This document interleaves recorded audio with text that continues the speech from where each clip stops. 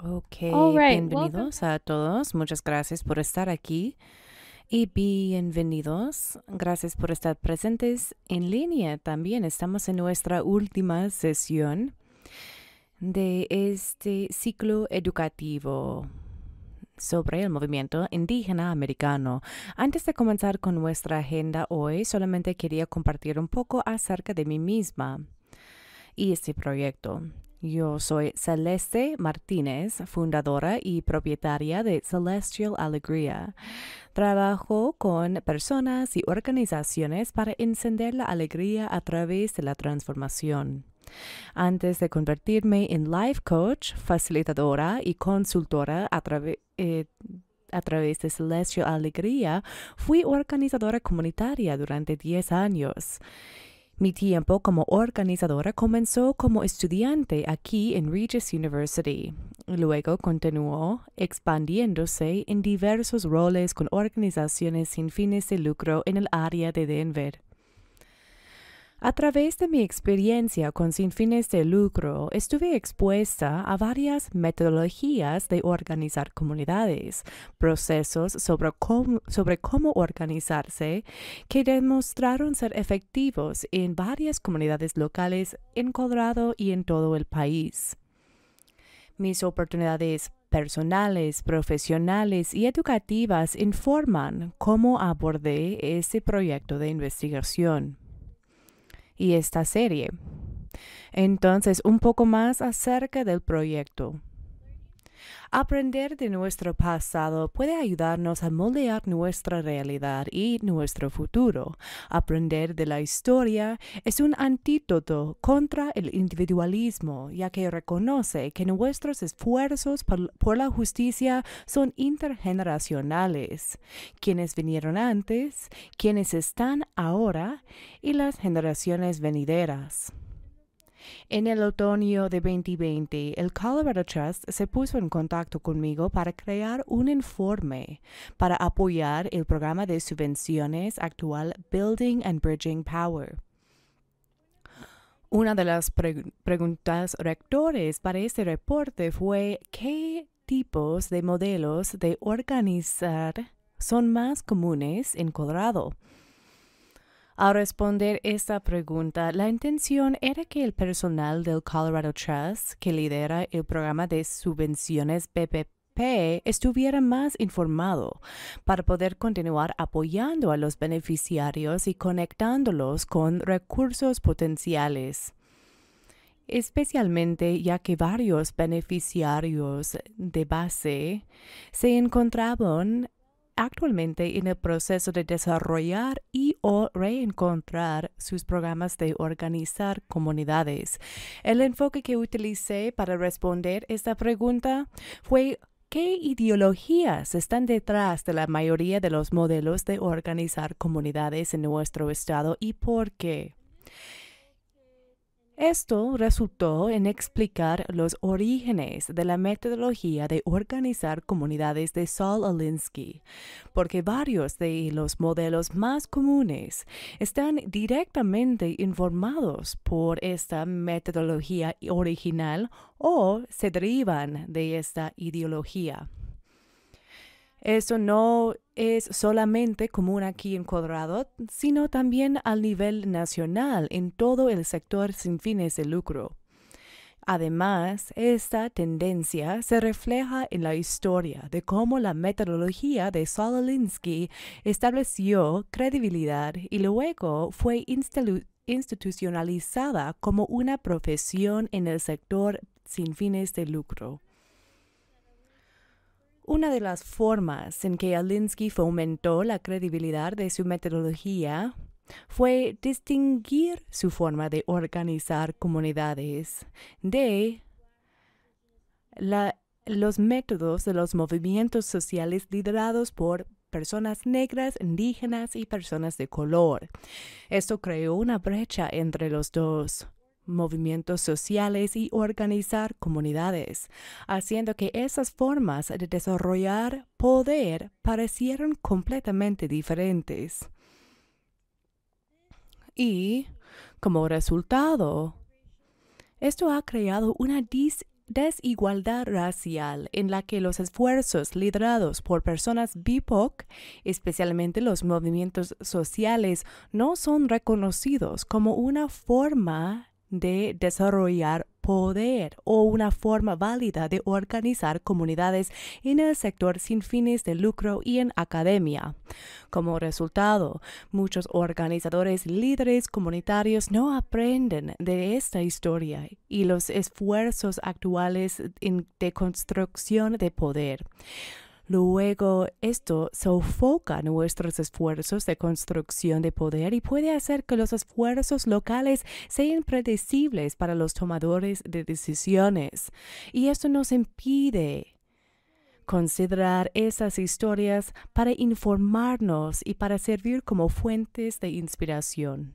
El propósito entonces de este proyecto y nuestro tiempo juntos es que esta investigación histórica y sociológica es de como propósito garantizar que las generaciones presentes y futuras de organizadores y líderes comunitarios puedan inspirarse de estos estudios y centrar las historias de los movimientos sociales liderados por personas negras, indígenas y personas de color, llamada BIPOC, y cómo los movimientos sociales a menudo colaboraban y estaban en solidaridad uno entre el otro en la lucha por la justicia racial y social.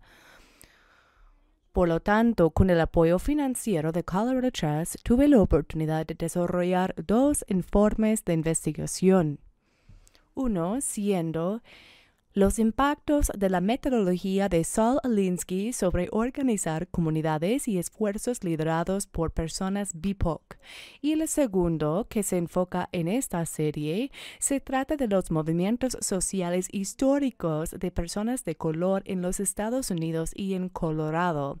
Y este informe incluye resúmenes nacionales y basados en Colorado. Sobre los derechos civiles, el Partido Pantera Negra, el movimiento indígena americano, el movimiento chicano y los derechos territoriales de San Luis. Y por eso que estamos acá hoy, para aprender de las historias de colaboración y las conexiones entre los movimientos sociales liderados por personas BIPOC en Colorado. Y esta serie educativa de otoño se centra en cada uno de estos movimientos sociales, comenzando con el Partido Pantera Negra y los derechos civiles, luego los derechos territoriales de San Luis, la última sesión se trató del movimiento chicano y hoy vamos a discutir el movimiento indígena americano. Cada sesión, incluso la esta, incluye un breve discurso que comparte los orígenes de cada movimiento, los líderes principales y los eventos y acciones clave, seguida por una mesa redonda de personas que estuvieron directamente involucradas en estos movimientos, son familia de los líderes involucrados o son historiadores actuales y arquiveros lo cual me lleva a presentarles a nuestros panelistas. Donna Christian y doctora Angela Parker, que son mujeres indígenas increíbles haciendo trabajo magnífico en nuestro, nuestra comunidad y vamos a aprender de ellas en un, un poco más adelante. Con esto vamos a lanzarnos a la historia del movimiento indígena americano. Ahora, antes de hablar del movimiento, es importante que entendamos la terminología, lo que estamos utilizando y el término indígena. Indígena americano hace referencia a cualquiera de los pueblos aborígenes del hemisferio occidental, también conocido como las Américas, o aquí en Norteamérica, isla de la tortuga. A diferencia de otros términos raciales, los indígenas americanos pertenecen a muchas tribus diferentes, con sus propias lenguas y culturas.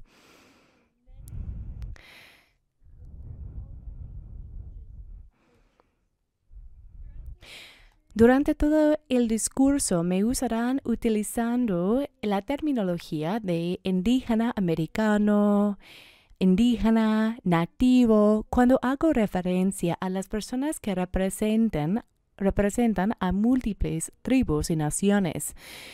Igual con los nombres de tribus y naciones específicas. ¿Qué es lo que inspiró el movimiento indígena americano? Aprendamos sobre el contexto, cuáles eran las condiciones que crearon el movimiento indígena americano.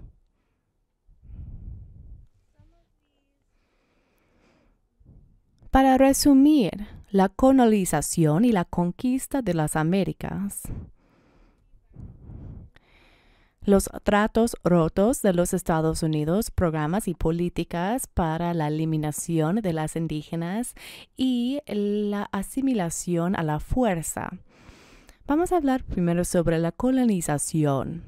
Esta definición viene informada por el trabajo de Roxanne Dunbar Ortiz en su trabajo An Indigenous People's History of the United States, y la colonización tiene como propósito establecer una colonia forzando a la gente a abandonar sus tierras y explotando después a los desplazados por su trabajo para apoyar y expandir la riqueza y el poder de un país europeo. Lo importante que entender es que la colonización es un proceso que comenzó como un experimento para crear una estrategia efectiva de violencia y una cultura de violencia antes de la era antes de la etapa de hoy en día. Y mucho de lo que vemos de la colonización y su legado viene de los romanos. Por eso que el cronograma comienza aquí entonces.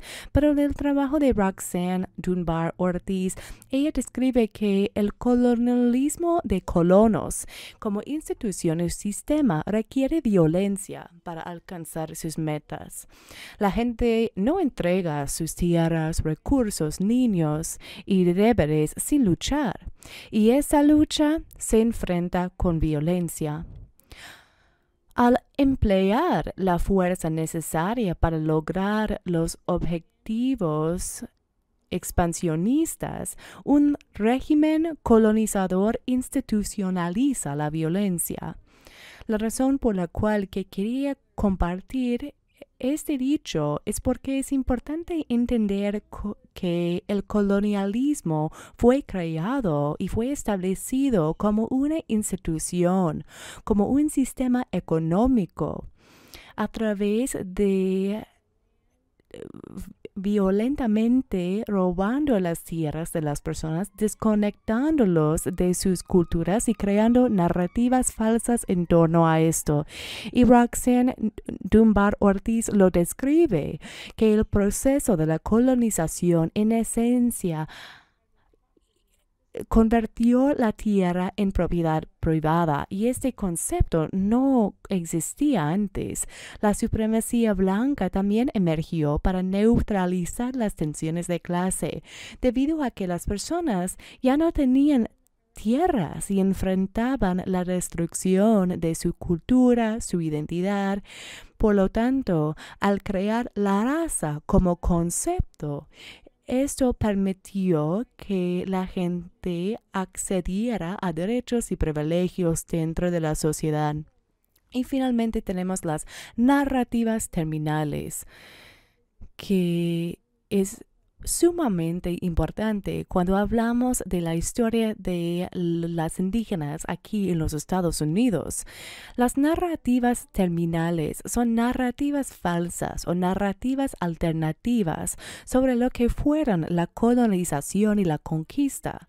A menudo cuando nos enteramos de la llegada de los europeos a América, nos dicen que trajeron consigo enfermedades y esto acabó con las poblaciones indígenas. Si bien sí, la enfermedad fue un factor que causó la muerte de los pueblos indígenas en todo el continente, así como la muerte de muchos africanos esclavizados que fueron transportados en barcos, Decir que esto fue el principal factor que contribuyó a la reducción de las poblaciones indígenas es una mentira. Esto es para encubrir cuán central fue y sigue siendo la violencia en la cultura de la conquista. Y esta cultura se trata de violencia, expropiación, destrucción y deshumanización. Y como Dunbar Ortiz articula en su investigación, describe que casi todas las áreas poblacionales de las Américas se redujeron en un 90% luego del inicio de los proyectos colonizadores, disminuyendo las poblaciones indígenas de las Américas de 100 millones a 10 millones. Entonces, lo que estamos diciendo aquí en cuanto a las condiciones es que esas condiciones continúan afectando a las comunidades indígenas hoy en día porque esto fue establecido no solamente dentro de nuestras instituciones y nuestras leyes, pero también dentro de la cultura de lo que significa formar parte de este país.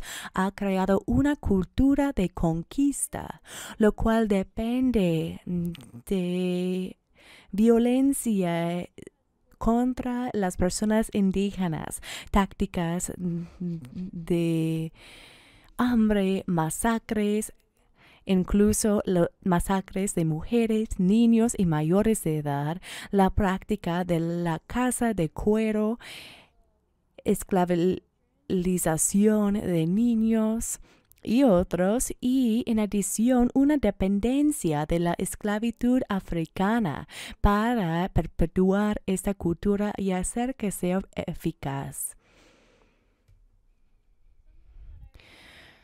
Algo que quiero mencionar en cuanto a esta cultura para que tengamos un mayor contexto es en cuanto a la casa de del cuero cabelludo. Esta práctica comenzó durante la Guerra Pecot en 1600 36 hasta 1638, donde los funcionarios de Connecticut y Massachusetts ofrecieron recompensas a cambio de las cabezas de los indígenas asesinados.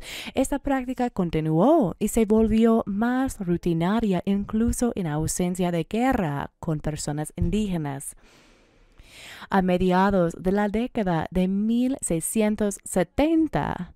Aquellos que recogieron recompensas descubrieron que los cueros cabelludos eran más portátiles para un mayor número. Además, Dunbar Ortiz describió que los cueros cabelludos de los niños indígenas se convirtieron en un medio de intercambio, una moneda y también un medio para erradicar una población indígena. Los colonos dieron un nombre a los cadáveres mutilados que dejaron atrás como pieles rojas.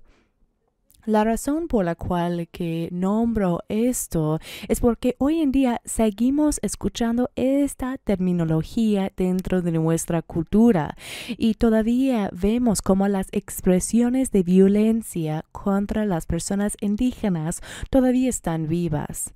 Esto nos trae a las violaciones de tratados, los programas y políticas de los Estados Unidos que buscaron la terminación de las poblaciones indígenas.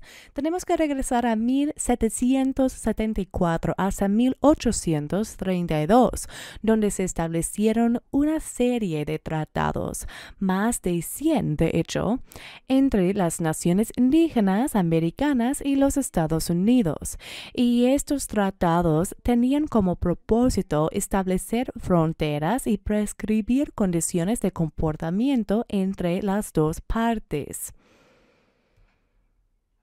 Sin embargo, lo que hemos visto es que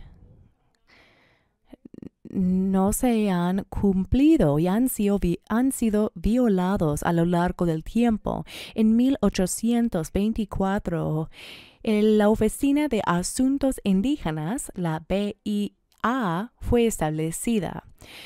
En 1830, el presidente Andrew Jackson promulgó la ley de expulsión de indios, que otorgó al presidente de los Estados Unidos la autoridad para otorgar tierras al oeste del río Mississippi, a cambio de tierras indígenas al este del río. Originalmente, la reubicación en nuevos territorios establecidos era voluntaria, pero luego el ejército estadounidense expulsó por la fuerza a los indígenas americanos de sus tierras. En 1832 las naciones indígenas americanas se consideraban nacionales, lo cual requería que los tratados fueran aprobados por el Congreso, cambiando las reglas. En 1835 los Cherokee se encontraban entre las muchas naciones indígenas que se resistieron firmemente a la reubicación de sus tierras de origen. El presidente Andrew Jackson se mantuvo firme en la adquisición de sus tierras indígenas, por lo cual negoció con un subgrupo de la nación Cherokee y estableció el Tratado de New Dakota, donde se intercambiaba dinero por la tierra con el acuerdo de que los Cherokee se reubicarían en tierras identificadas en Oklahoma. Si bien la nación Cherokee en su conjunto no estaba de acuerdo con el Tratado de New Dakota, esto no impidió que el gobierno de los Estados Unidos lo hiciera cumplir, lo cual llevó a la expulsión a la fuerza de los Cherokee de sus países de origen en una marcha de más de mil millas donde murieron cuatro mil personas una cuarta parte de la población de la nación indígena. Y esa marcha forzada que también causó gran sufrimiento a las naciones Chickasaw, Choctaw, Creek y Seminole se conoce más comúnmente como el Sendero de las Lágrimas. En 1851, el Congreso aprobó la Ley de Apropiaciones Indígenas que creó el sistema de reservas indígenas. Los nativos se vieron obligados a vivir en un territorio también conocido como una reserva.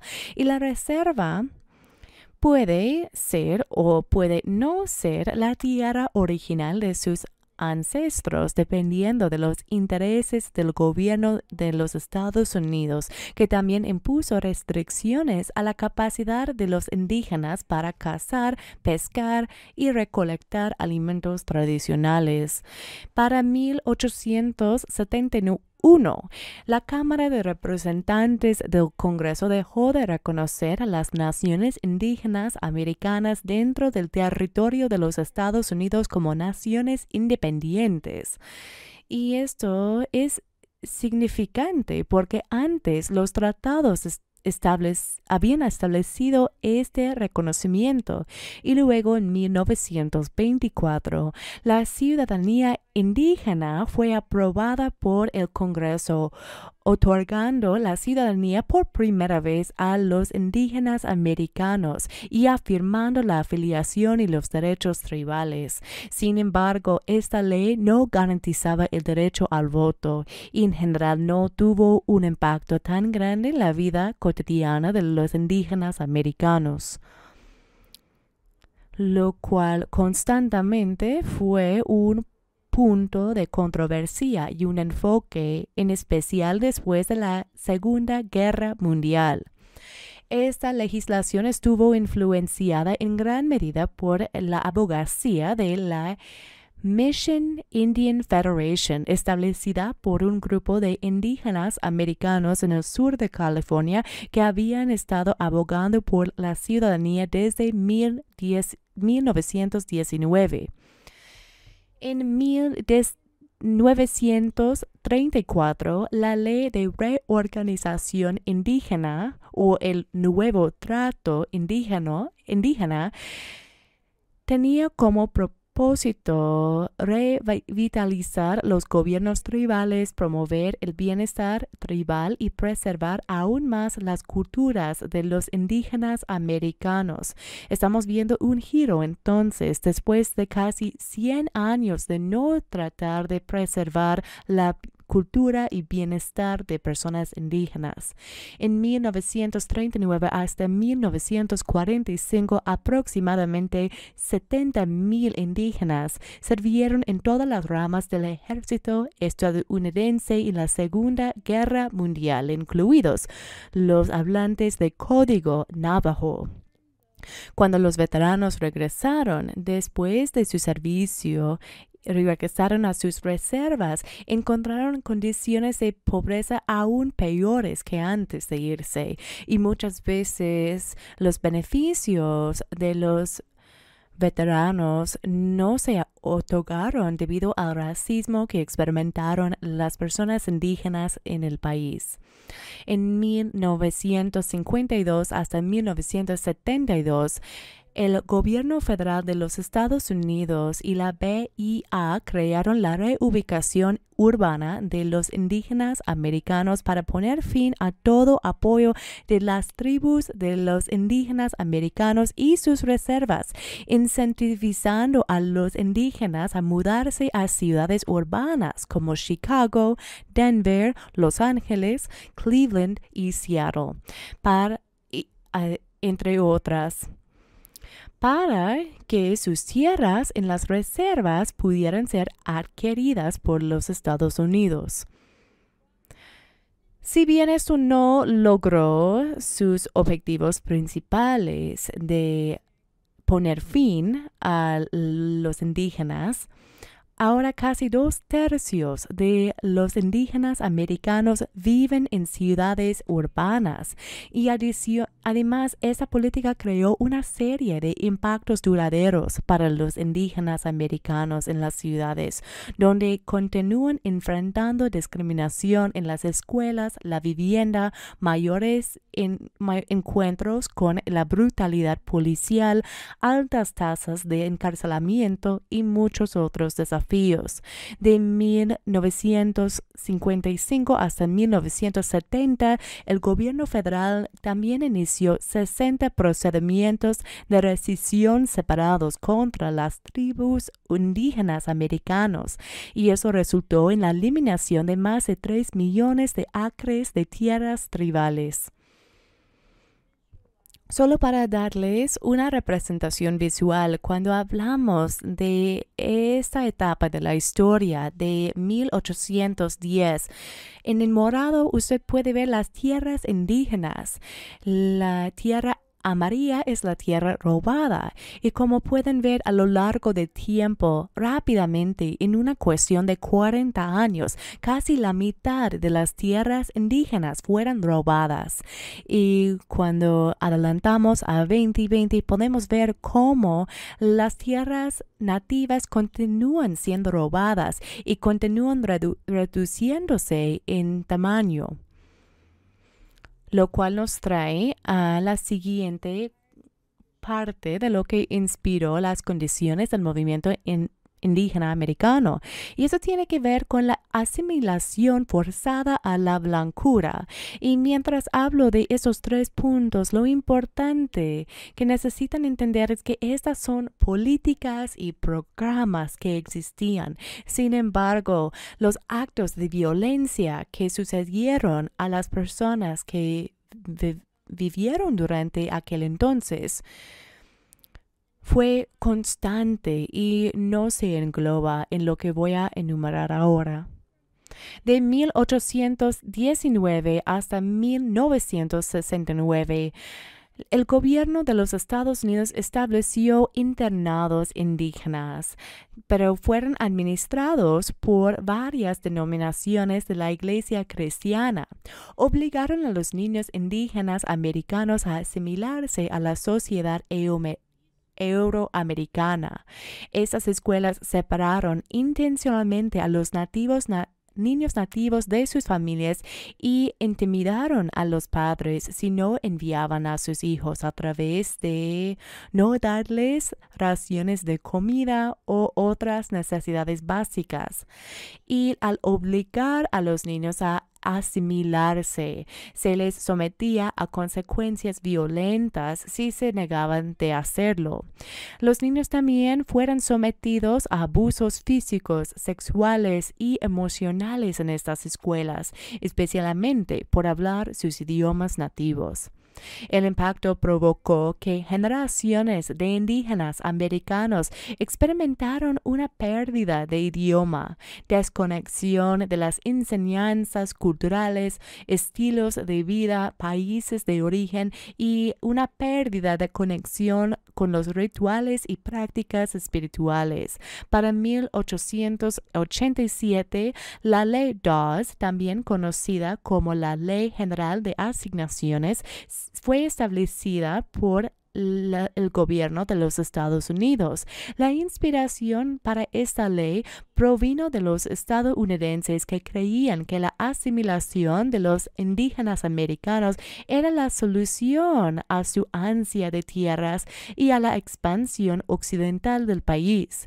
En última instancia, esto autorizó al presidente de los Estados Unidos a dividir las tierras de las reservas en pequeñas parcelas para que se entre individuos. Y esta práctica, aunque Contraria a las formas tradicionales de la mayoría de las naciones indígenas, fue eficaz para reducir aún más los territorios asignados, incluidos aquellos que fueran reubicados por la fuerza. Y esta ley prohibió además las prácticas culturales y espirituales de los indígenas americanos. Finalmente, en 1890, la danza de los fantasmas, que es un movimiento espiritual, fue prohibida con un masacre en Wounded Knee. La danza de los fantasmas comenzó como un movimiento espiritual de muchos indígenas americanos que abogaban por la coexistencia pacífica con los no indígenas.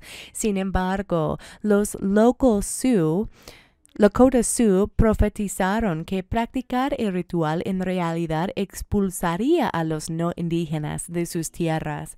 Como resultado, los agentes indígenas organizaron la danza de los fantasmas y el presidente Harrison ordenó que un tercio del ejército descendiera sobre Wounded Knee y masacrara a cientos de Sioux, incluidos ancianos, mujeres y niños. El miedo a la violencia llevó al declive del movimiento espiritual y la ritual de la danza de los fantasmas. Bueno, todos estos eventos, todos estos diferentes programas, todos estos diferentes aspectos, luego, en esencia, crearon las condiciones que nos llevaron a 1968, cuando la historia del movimiento indígena americano comienza. El 28 de julio de 1968, Dennis Banks y George Mitchell organizaron que son algunos de los cofundadores del movimiento indígena americano, organizaron una reunión para los indígenas americanos para discutir cuestiones que afectaban a su comunidad y qué hacer al respecto. Esto fue en Minneapolis, Minnesota. Eso se conoce como la primera reunión del movimiento indígena americano, aunque no llamaron a ellos mismos con este nombre a la que asistieron más de 200 personas y la comunidad decidió centrarse en la brutalidad policial y la responsabilidad debido a qué tan severa era la brutalidad policial que experimentaba la gente al diario. Entre los que asistieron se encontraba a Clyde Belcourt, que anteriormente dirigió la organización Red Ghetto People en 1964 y quien sería luego el primer presidente del movimiento indígena americano. El enfoque de la brutalidad policial y la responsabilidad inspiró la primera iniciativa con una patrulla comunitaria conocida como Patrulla AIM, que utilizaba tres autos pintados de rojo para monitorear a la policía en áreas conocidas por acosos contra los indígenas. Lo importante que necesitamos saber del contexto de esta historia y estos cofundadores es que Dennis Banks fue previamente encarcelado antes de ese momento. Y durante aquel entonces cuando estuvo encarcelado él experimentó un un renacimiento político. Se puso más radical a través de reflejar sobre lo que estaba sucediendo en el momento, la guerra de Vietnam, el movimiento de los derechos civiles, el movimiento del Partido Pantera Negra, el movimiento chicano, en ver todos los diferentes esfuerzos e iniciativas, Dennis Banks, por lo menos según lo que escribe en su autobiografía, empezó a pensar en ¿y qué de los indígenas?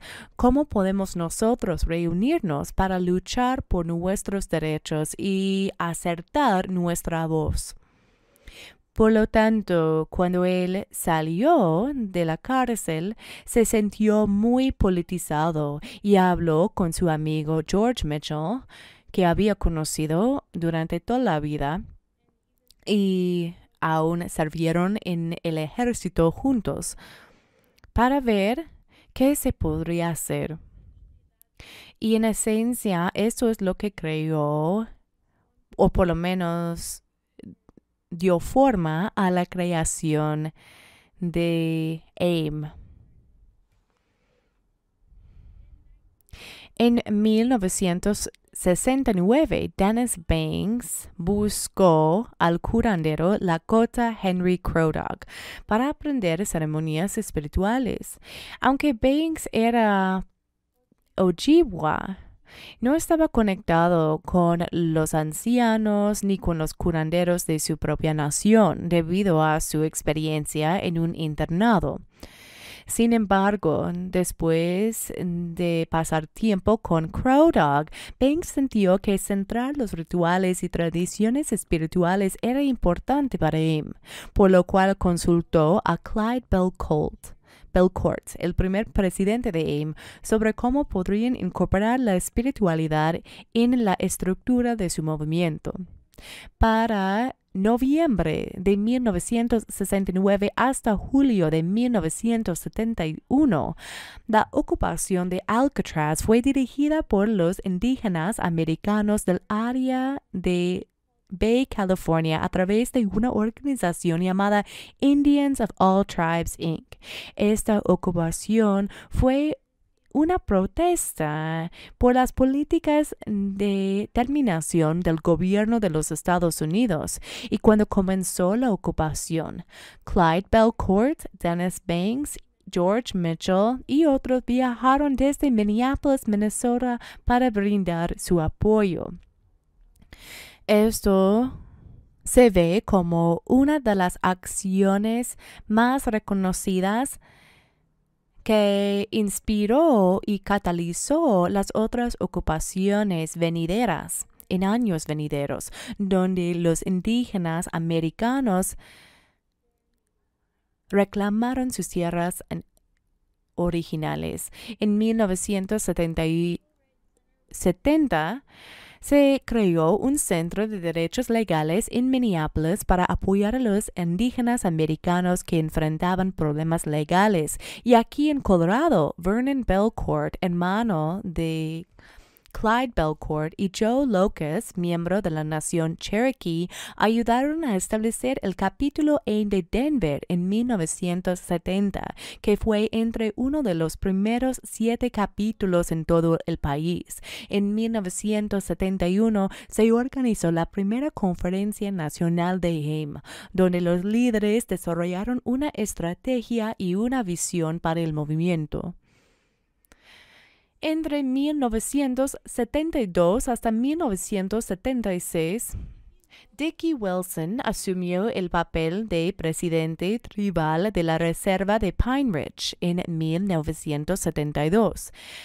Wilson gastó una gran cantidad del dinero del gobierno para financiar un ejército privado de 80 personas a las que le gustaba referirse como sus goons, guardianes de la nación Ogalala. Sin embargo, ese ejército financiado por el gobierno de los Estados Unidos se utilizó a menudo para atacar a los residentes de la reserva, no para protegerlos. Y durante la administración presidencial de Wilson, más de 60 Oglala Sioux fueron matados por los goons. Para mantener su poder, Wilson cometió fraude electoral y utilizó los goons como una fuerza para intimidar a cualquiera que cuestionara su autoridad. También en 1972, The Heart of the Earth Survival School abrió en Minneapolis, Minnesota, y luego The Red House School en St. Paul, Minnesota. Estos eran escuelas de kinder hasta docena, doceno grado que se centraban en abordar las altas tasas de abandono escolar de los estudiantes indígenas y brindarles un plan de estudios culturalmente relevante supervisado por participación de sus padres. El 14 de febrero de este mismo año, Raymond Yellow Thunder, un hombre Lakota de 51 años, fue asesinado por dos hombres hombres blancos, Leslie y Melvin Hare. Yellow Thunder fue golpeado públicamente y obligado a bailar desnudo a punto de pistola en el baile Gordon American Legion Post No. 34 en Gordon, Nebraska. AIM se reunió en Oklahoma en el momento del asesinato de Yellow Thunder y organizó una caravana hacia Pine Range Ridge para exigir justicia. Los hermanos Hare finalmente fueron declarados culpables de homicidio y involuntario y cada uno sirvió varios años de prisión. Esto se vio como una victoria para AIM, haciendo responsables los que cometieron actos violentos contra su comunidad. Para septiembre, AIM y varias otras organizaciones indígenas americanas se reunieron en Denver, Colorado, en New Albany Hotel para organizar una marcha nacional conocida como el Sendero de Tratados Rotos, Trail of Broken Treaties. Eso fue para llamar la atención sobre cómo la BIA continuaba enviando a las tribus y tratando a los indígenas americanos como pupilos del Estado, así como las 372 violaciones de tratados por parte del gobierno de los Estados Unidos.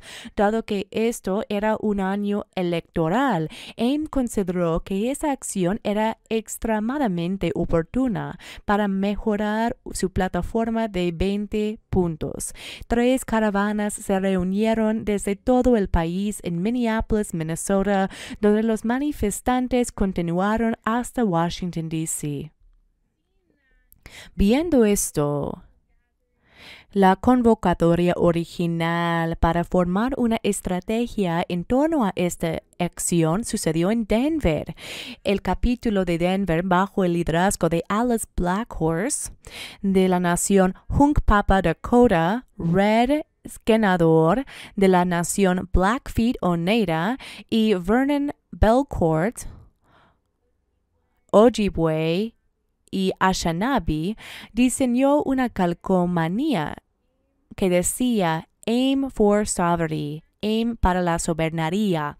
Y este mensaje influyó mucho en el lenguaje utilizado en AIM y algunos de los conceptos incluidos en su plataforma de 20 puntos y la razón por la cual que hacer esta calcomanía vale la pena mencionar es no solamente por la influencia del lenguaje, pero sino la comprensión amplia de por, para qué la gente luchaba.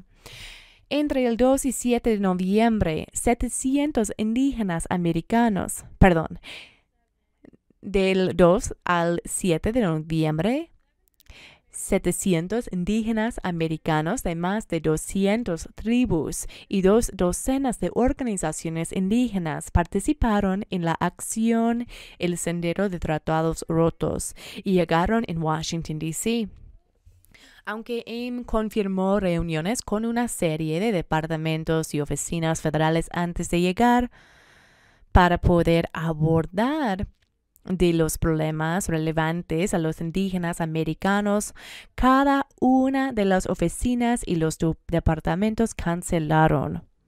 En gran parte, a partir de las palabras inspiradoras de Martha Grass, los miembros de AIM decidieron ocupar el edificio Y continuaron haciéndolo durante cinco días. Si bien el gobierno de los Estados Unidos originalmente acordó formar parte de formar un comité para revisar y trabajar en la plataforma de 20 puntos desarrollado, no lo cumplió. Pero esa acción aún se consideró un éxito debido a la unidad, la solidaridad que se demostró a través de tantas naciones y organizaciones. En diciembre de 1972, AIM junto con Ogallala Sioux cerraron el distrito comercial de Rapid City, South Dakota del Sur, haciendo piquetes para denunciar el acoso sexual de las mujeres indígenas y la discriminación hacia los ancianos indígenas. Posteriormente, habían peleas frente a negocios y en las calles, resultando en el arresto de unos 200 miembros de AIM. Crow Dog más tarde llevó a un grupo de indígenas a bailar mientras cantaban canciones de guerra en la cárcel.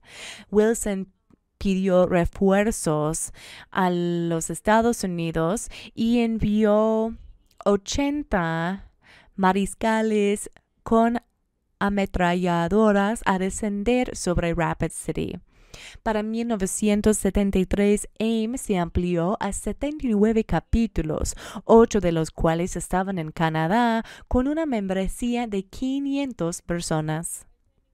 perdón, 5.000 personas. Para el 2 de enero, la oficina local del FBI en Denver informó que Alice Blackhorse, líder del capítulo de Denver, AIM de Denver murió en un accidente de automóvil sin detalles adicionales.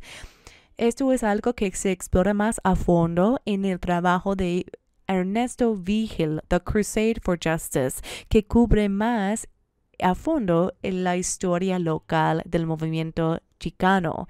Después de la muerte de Black Horse, es difícil identificar más información sobre el liderazgo del capítulo AIM de Denver. Lo que sí se sabe es que el capítulo AIM de Denver y la Cruzada para la Justicia continuaron trabajando en estrecha solidaridad, demostrando apoyo mutuo en los esfuerzos locales tanto como nacionales. En ambos movimientos, el del indígena americano y el chicano. En 1973, de 20 a 21 de enero. Wesley Bad Heart Bull y su madre Sarah, con un amigo Robert High Eagle, estaban en Bill's Bar en Buffalo Gap, Dakota del Sur. El dueño le advirtió a Wesley que no fuera al bar, pero continuó yendo de todos modos. Daryl Schmitz, un empleado de gasolina blanco local que frecuentaba el bar, estaba borracho y amenazó con matar a Wesley cuando salió esa noche. Al día siguiente, Wesley fue encontrado frente a Bill's Bar con un cuchillo en el pecho y siete puñaladas. Wesley murió camino al hospital y Schmidt admitió haber matado a Wesley y fue arrestado y llevado a Custer, donde fue, donde fue acusado de homicidio en segundo grado. Otra vez, esa es la sentencia más baja posible. Sin embargo, Schmitz salió bajo fianza y nunca pasó ningún tiempo en prisión. Dado ese momento y el impacto que tuvo, Aim decidió apoyar a Sara, la mamá de él, exigiendo justicia por Wesley. Ya hubo acciones emergiendo con violaciones de los derechos civiles que iban a ser escuchados. El 3 y 4 de febrero debido a eventos previos en Rapid City, el condado de Pennington y el estado de Dakota del Sur. Y muchos indígenas se reunieron para ofrecer y dar sus testimonios en esta audiencia tribunal. El 6 de febrero,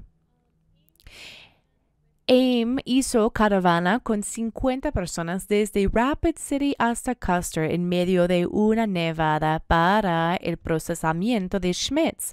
El juez Gates inicialmente se negó a permitir que nadie entrara al tribunal, pero los líderes de AIM lograron negociar negociar para permitir el ingreso de unas cinco personas, incluido su abogado.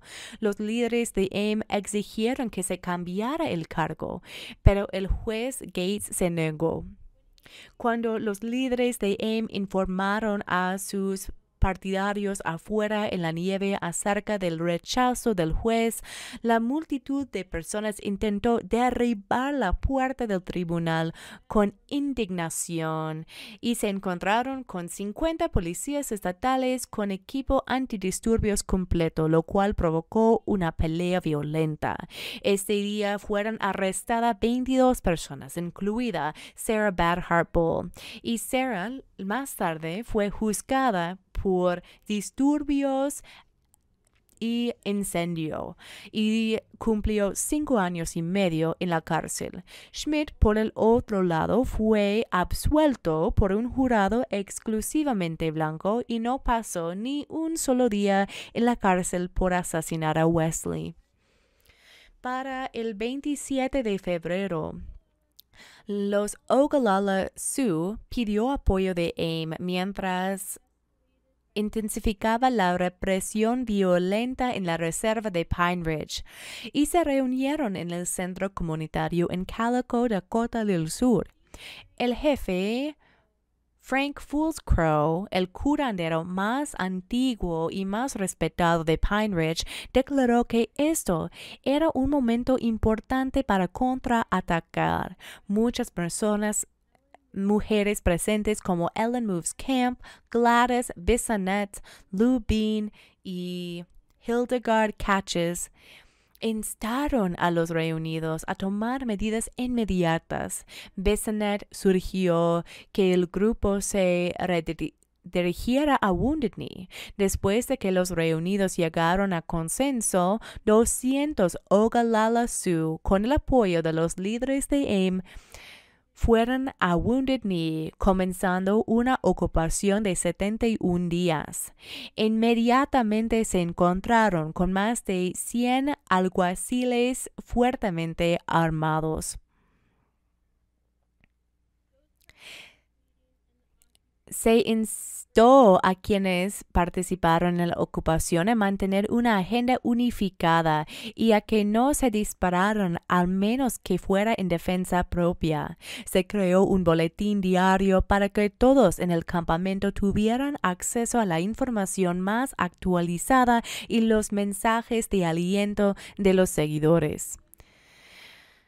Diariamente se llevaron a cabo ceremonias de sudor y todos los participantes en la ocupación también participaban en el ritual espiritual para fortalecerse. Crow Dog, que estuvo presente en la ocupación, también alentó el resurgimiento del ritual de la danza de los fantasmas.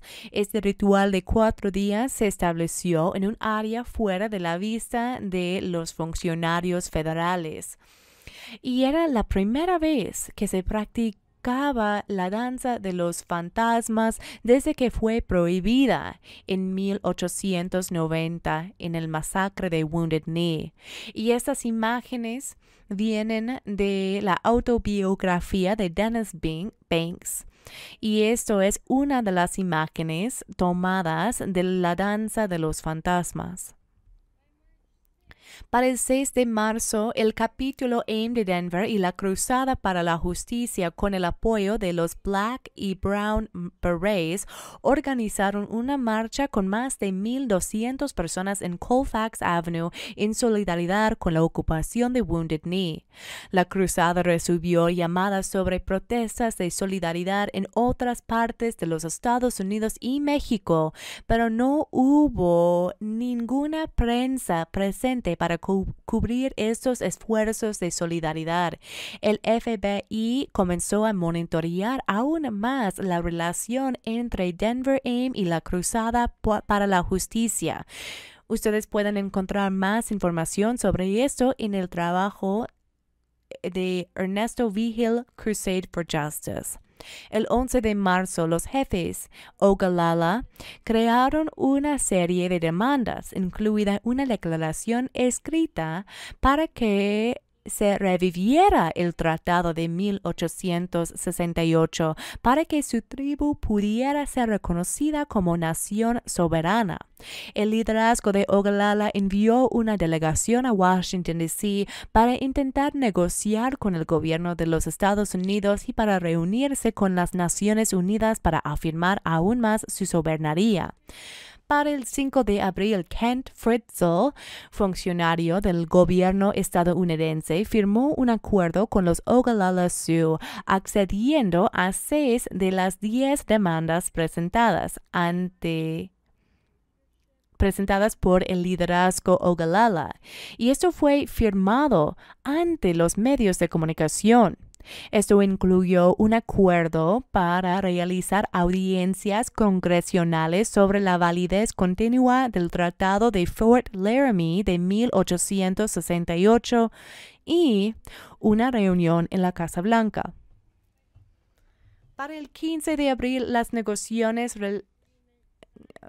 relacionadas con el acuerdo firmado por Fritzl fracasaron en Washington, D.C. Entonces los líderes de la nación Ogalala regresaron a Wounded Knee.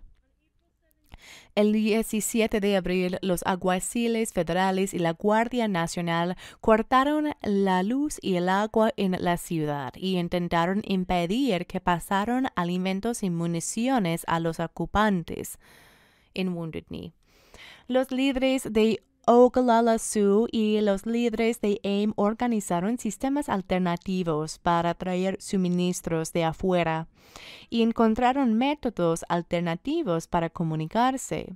Uno de los eventos más infames fue un lanzamiento de areo de alimentos y suministros organizado por Bill Zimmerman y otros partidarios.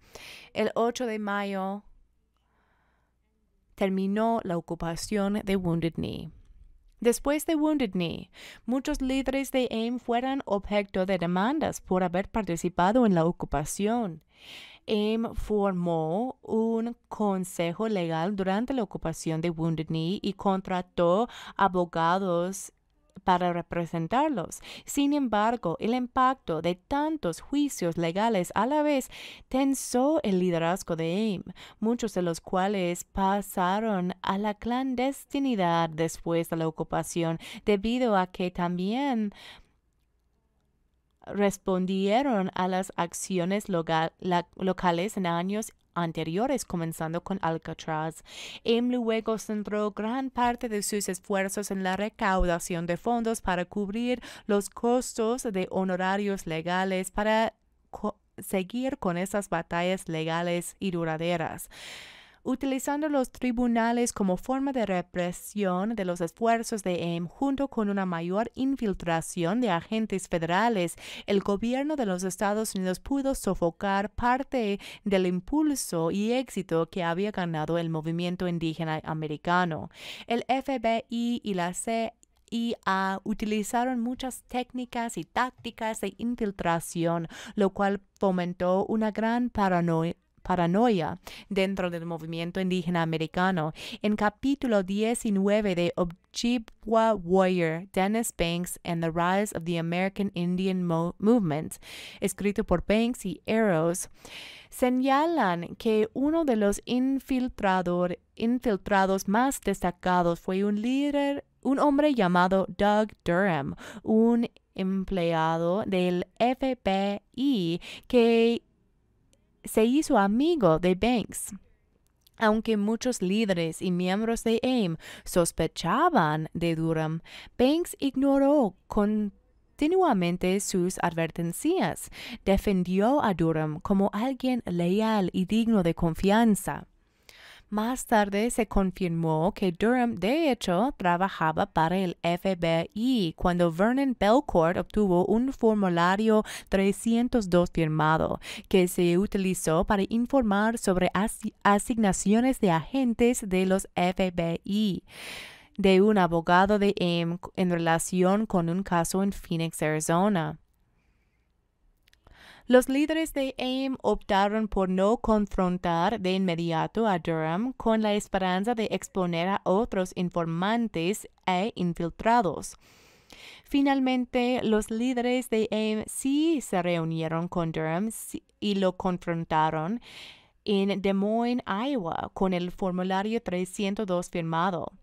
Él admitió haber trabajado para el FBI reveló otras tácticas que había utilizado para infiltrar y desbaratar efectivamente a AIM. Durham también admitió abiertamente su papel en el FBI en una conferencia de la prensa y luego hizo su carrera como orador contra AIM. Algunas de las victorias más notables después de la ocupación de Wounded Knee están documentadas por Laura Waterman Whitstock y Elaine J. Salinas en A Brief History of the American Indian Movement, que pueden encontrar en el sitio web del American Indian Movement. Muchos de los logros destacados se centran en organizaciones locales, especialmente en Minnesota, el lugar de nacimiento del movimiento y sede actual.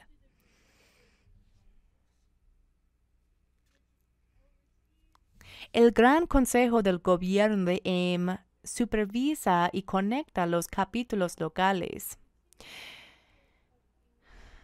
El enfoque general y continuo de AIM tiene los valores fundamentales de autodeterminación y solidaridad en la lucha en curso por la soberanía indígena. Si bien no todos los capítulos de AIM están afiliados con el Gran Consejo debido a una división en una ruptura en 1993 en la Confederación Internacional de Capítulos Autónomos aquí en Denver, muchos todavía están activos y trabajan en solidaridad con los esfuerzos modernos liderados por los indígenas. Waterman, Whitstock y Salinas enfatizan cómo el enfoque de AIM en la renovación espiritual y la conexión entre pueblos indígenas siguen siendo unos de los mayores logros colectivos, debido a cómo la espiritualidad continúa importando a muchas personas y naciones indígenas para reconectarse con sus culturas y sostenerla. Entonces, ¿cuáles son las estrategias y acciones de las cuales podemos aprender? Primeramente, cuando vemos la primera parte de la historia, vemos que las iniciativas comunitarias y programas eran basados en el lugar y satisfacieron las necesidades básicas de las personas. La patrulla comunitaria, por ejemplo, la creación de centros legales, la creación de escuelas, pero también la creación de iniciativas y acciones que se enfocaban en el reclamo de las tierras y eso siendo algo bien enfocado en un cierto lugar geográfico. En adición, algo que se utilizó fue la intensificación estratégica. Las ocupaciones no eran el primer paso en estas acciones, sino que hubo intentos de negociación, intentos de reuniones con funcionarios federales, intentos de otros medios de intervención, pero cuando nada funcionó, las ocupaciones fueron utilizadas como parte de una estrategia de intensificación. Las conferencias también siguen siendo muy importantes, las caravanas y tener grupos de grandes grupos de personas que asistieron al tribunal, que asistieron a diferentes eventos, el sendero de tratados rotos y aún la coordinación de esfuerzos nacionales las acciones directas, ¿verdad? Y esto también incluye las acciones directas no violentas, piquetes y negociaciones. Obviamente hay mucho que aprender y he estado hablando por mucho tiempo, así que vamos a escuchar la sabiduría de nuestras panelistas. Primeramente, quiero invitar a Donna John, que es ciudadana de la nación Sikh Chanu Lakota y descendiente de la nación Dene. Es originaria de Denver, Colorado y madre de cinco hijos. Dana es consultora en educación indígena y ha presentado la perspectiva indígena durante más de 46 años. También trabaja con varias organizaciones como consultora y presentadora de diversidad e inclusión. Donna se mantiene activa en la comunidad indígena tanto al nivel local como nacional, siendo voluntaria y participando, participando en varias organizaciones. Ella sirve actualmente en la Comisión Indígena Americana de Denver. en la junta directiva del Chinook Fund, donde era copresidenta, y la junta directiva de People of the Sacred Land. Una bienvenida cálida para Donna.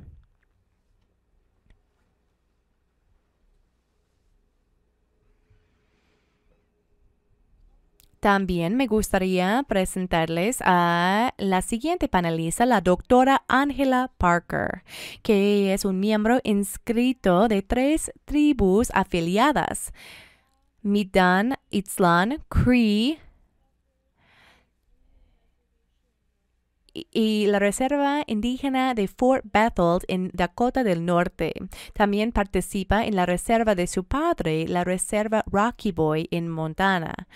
Ángela obtuvo su licenciatura en la historia de la Universidad de Stanford y su maestría y doctorado en la historia del siglo XX de los indígenas americanos de los Estados Unidos en la, Universidad de Michigan Ann Arbor. Actualmente enseña como profesora adjunta de historia en la Universidad de Denver y su investigación se centra en la historia de los indígenas americanos y de los Estados Unidos del siglo XX, en particular la larga historia de la extracción de petróleo en las comunidades indígenas del siglo XX, la evolución de la soberanía tribal y el activismo nativo. Ángela vive en Boulder, Colorado, con su pareja y su hijo. Démosle la bienvenida.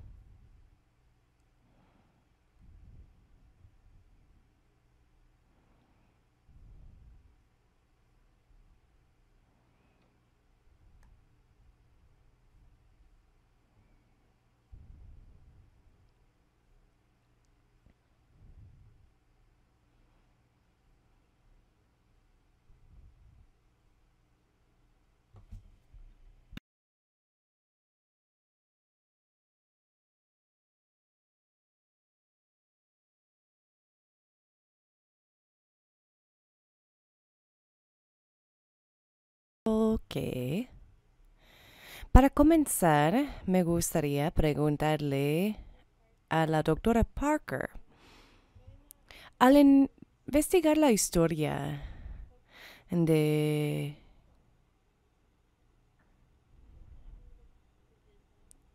al investigar su enfoque en el activismo indígena,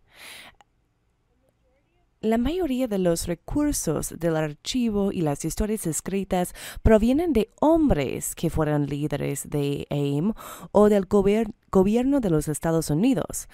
Entonces, ¿cómo afecta esto la forma en que aprendemos y entendemos la historia? Y además, ¿existen recursos donde podamos aprender más acerca de las mujeres indígenas? Absolutamente. Bueno, cuando uno mm, asume, ¿verdad?, que el movimiento indígena americano es una expresión plena del poder rojo, bueno, va a encontrarse en un mundo principalmente de hombres. Em fue muy eficaz en conseguir el micrófono y estar ante a las cámaras. Y en especial algunos de los líderes que usted mencionó, Dennis Banks, Russell Memes, Bell Court,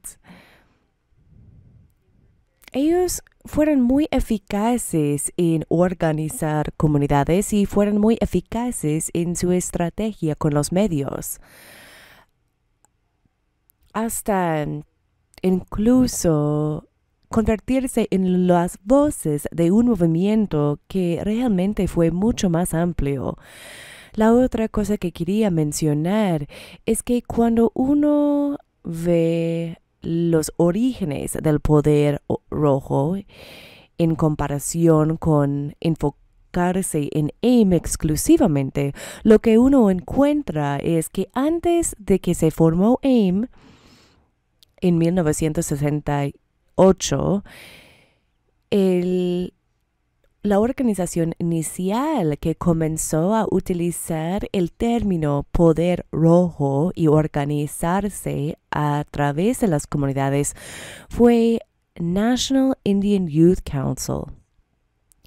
Y esto provino de la conferencia en Chicago en 1960 y esta frustración que los jóvenes indígenas sentían con los miembros adultos de la comunidad que quería tomar un tono más de acomodar. Por eso que crearon el Consejo Nacional de Jóvenes y uno de los organizadores, Hank Adams, él hizo un trabajo maravilloso en Washington, más que todo en Washington, quizás partes de Oregon con los Fishins. Y lo que hizo AIM de manera eficaz fue tomar las mismas estrategias que había comenzado Hank Adams y las implementaba en la historia que compartió con nosotros y de forma tan eficaz. Entonces, ok, para regresar al movimiento de poder rojo y el Consejo de la Juventud. Denver, de hecho, juega un papel muy importante en el origen del poder rojo. Y no es una historia de hombres, de hecho, es una historia bastante amplia. El, el epílogo del libro que estoy redactando, que va a salir el próximo otoño con OU Press. En ese libro hablo de mi tía. Siempre comienza con una tía, ¿no? Yo hablo acerca de mi tía Tilly Walker que era activista en el área de Denver. Trabajó para una organización que se llama United Scholarship Service. Y United Scholarship Service tomó la financiación de organizaciones religiosas y lo empleaba para identificar a jóvenes con alto rendimiento para ubicarlos en escuelas internadas elitas en todo el oeste de los Estados Unidos y la costa del este. Entonces ella tuvo mucho acceso a ese tipo de, eh, o ese grupo de jóvenes.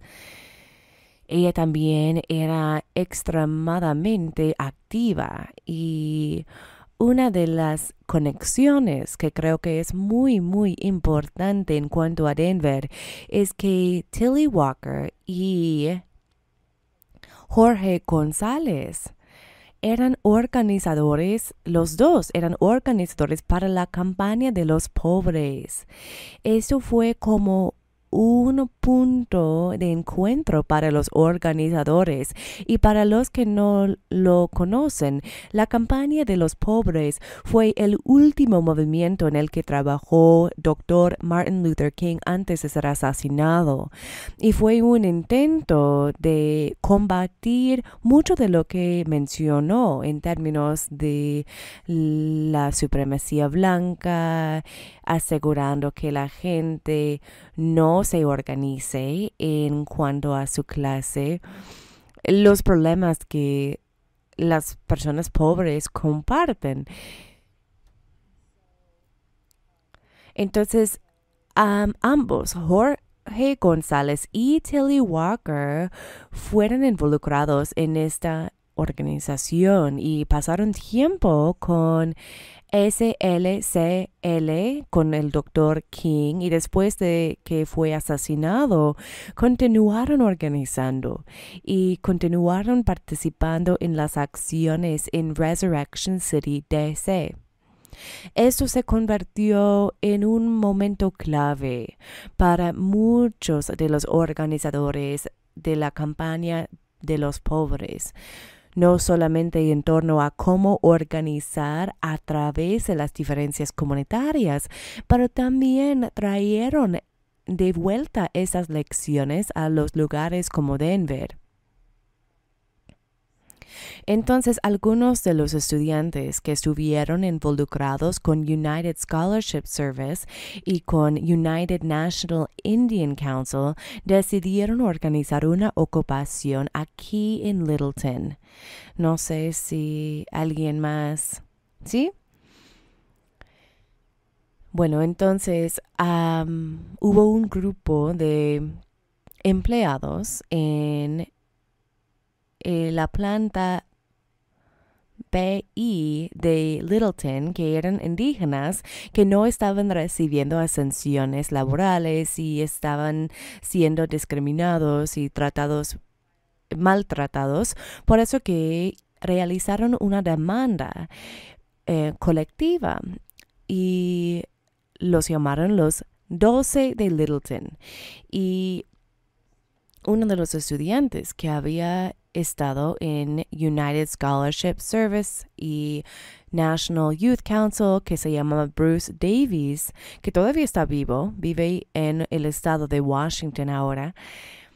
Él organizó y fue a White Buffalo Council y básicamente habló con muchas organizaciones nativas para implementar un piquete y luego una ocupación de la planta en Littleton.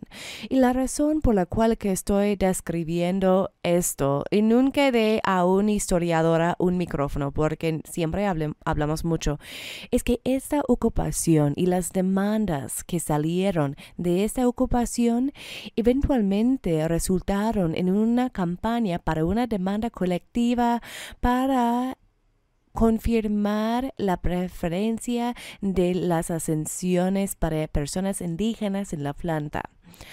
Y esto es un caso que eventualmente llegó hasta la Corte Suprema Morton v. McCartney en 1974. Y esto todavía es un caso crucial sobre la ley indígena y sirve como pilar para los casos que sirven EQUA, eh, la ley de bienestar infantil indígena y con la decisión más reciente que se tomó, eso fue un intento de sofocar y destruir la ley de bienestar infantil indígena. Y en este caso dependieron del caso previo, Morton v. McCartney, lo cual decidió que la identidad indígena no es una identidad racial, es una identidad política. Y se basa en una larga historia de tratados con naciones indígenas y siendo identidad política, por eso que la preferencia indígena continúa siendo legal a pesar de la ley de derechos civiles, etc. Y bueno, eso fue la semilla que comenzó en Littleton, comenzando con esta este intento de organizar aquí en Denver y continúa teniendo impactos hoy en día en términos de ser un caso en el que se basan otros casos de derechos indígenas. Y es una historia oculta, no tenemos mucha información sobre ella. La gente habla de eso, las familias la conocen, pero no hay nada por escrito. Y voy a decir algo eh, controversial. Yo creo que eso se debe al hecho de que los líderes de AIM fueron excelentes en absorber toda la atención. Em, y yo creo que esta es una historia importante de AIM y estos son eventos clave en organizar comunidades.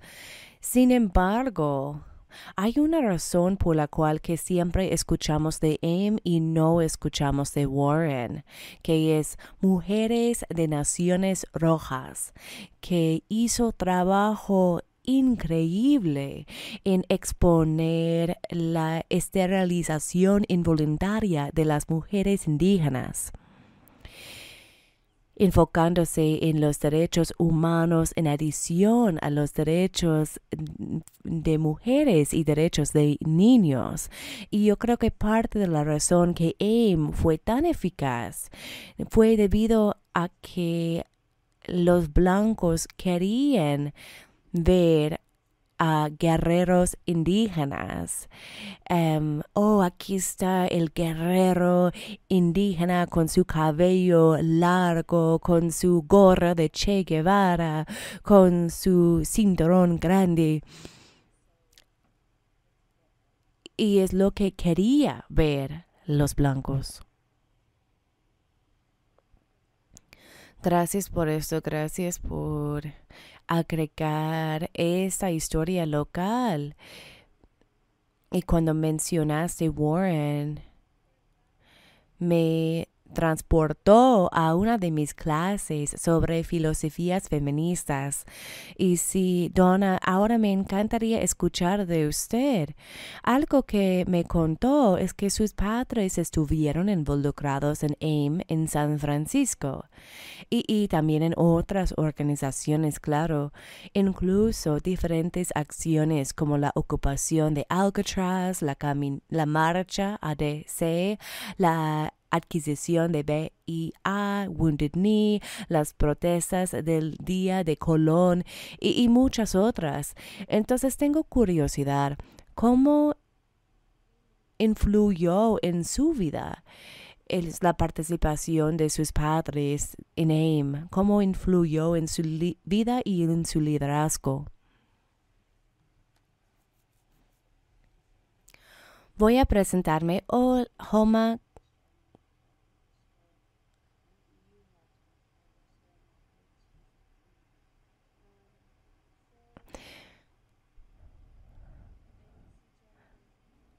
Soy Sichango y Lakota. Mi mamá es Sichango de Rosebud, South Dakota. Mi padre es Dene.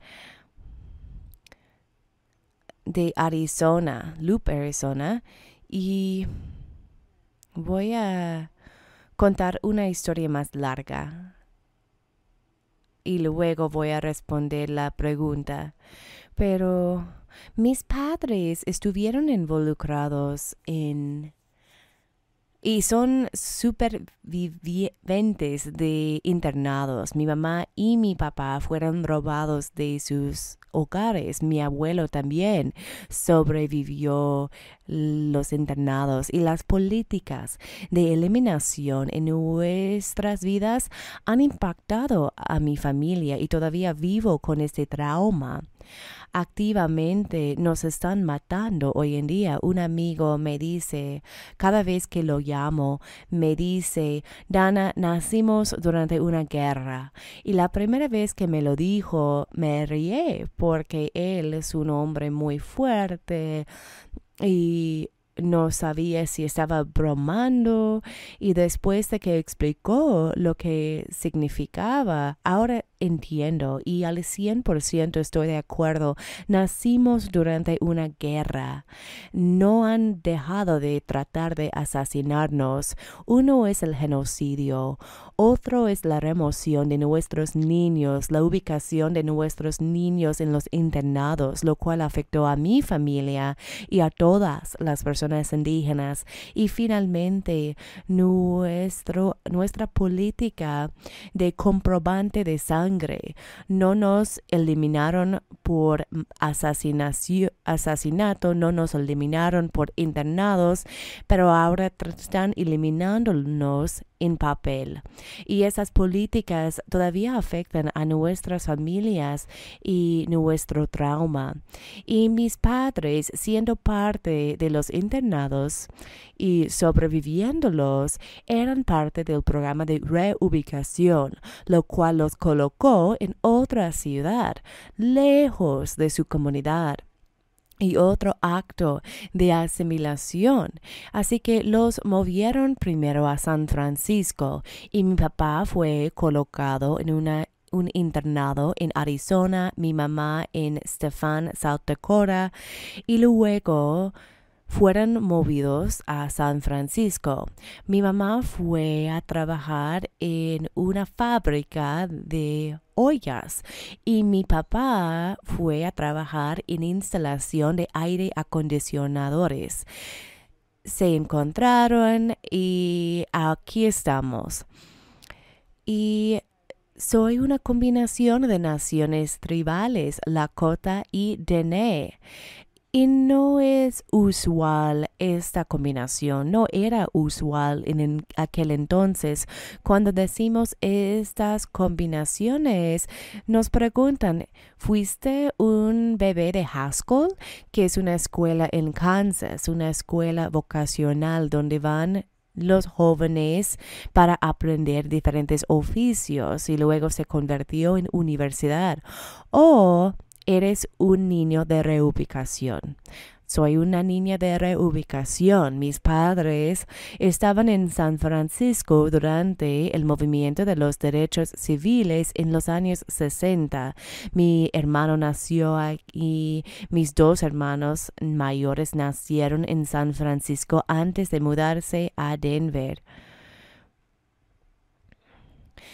Y cuando hablamos de las políticas de asimilación y en específico la política de comprobar su sangre, la esperanza fue con estos programas de reubicación y los otros programas que tenían como propósito desplazarnos de las reservas, la esperanza fue que nos casáramos fuera de nuestra raza, pero lo que no tuvieron en cuenta es que íbamos a encontrar a otras indígenas en las ciudades donde nos colocaron. Queríamos estar unos con otros, por eso que construimos servicios y centros indígenas en estas ciudades. Y eso es lo que sucedió a mi papá y mi mamá y así fue que se conocieron. pero también siendo parte de una comunidad social y luego participando en los movimientos de derechos civiles y la ocupación de Alcatraz. Y mi mamá, ahora voy a hablar de cosas chistosas al crecer mi mamá me decía, yo crecí en un rancho pequeño en Nebraska, un pueblo muy pequeño. Nos mudamos allí en 1973 tres, cinco, perdón, y tenía tres años de edad. Fue después de divorciarse. Mi mamá era como Martha Stewart nativa. Siempre se llevaba un delantal, siempre estaba haciendo galletas, siempre asegurándose de que hiciéramos nuestra tarea. Mi mamá era Martha Stewart, indígena, pero ella nos, nos impartió em, sorpresas como tengo un registro con el FBI y nosotros, ¿qué? ¿Qué quieres decir, loca? Y luego nos decía cosas repentinas acerca de su trauma, ¿no? En el momento fue desencadenada por su trauma, por eso que nos dijo, nos contó sobre cosas que le había sucedido durante su vida. Y ella nunca conectó e, estos puntos para nosotros, pero escuché las conexiones, ¿no?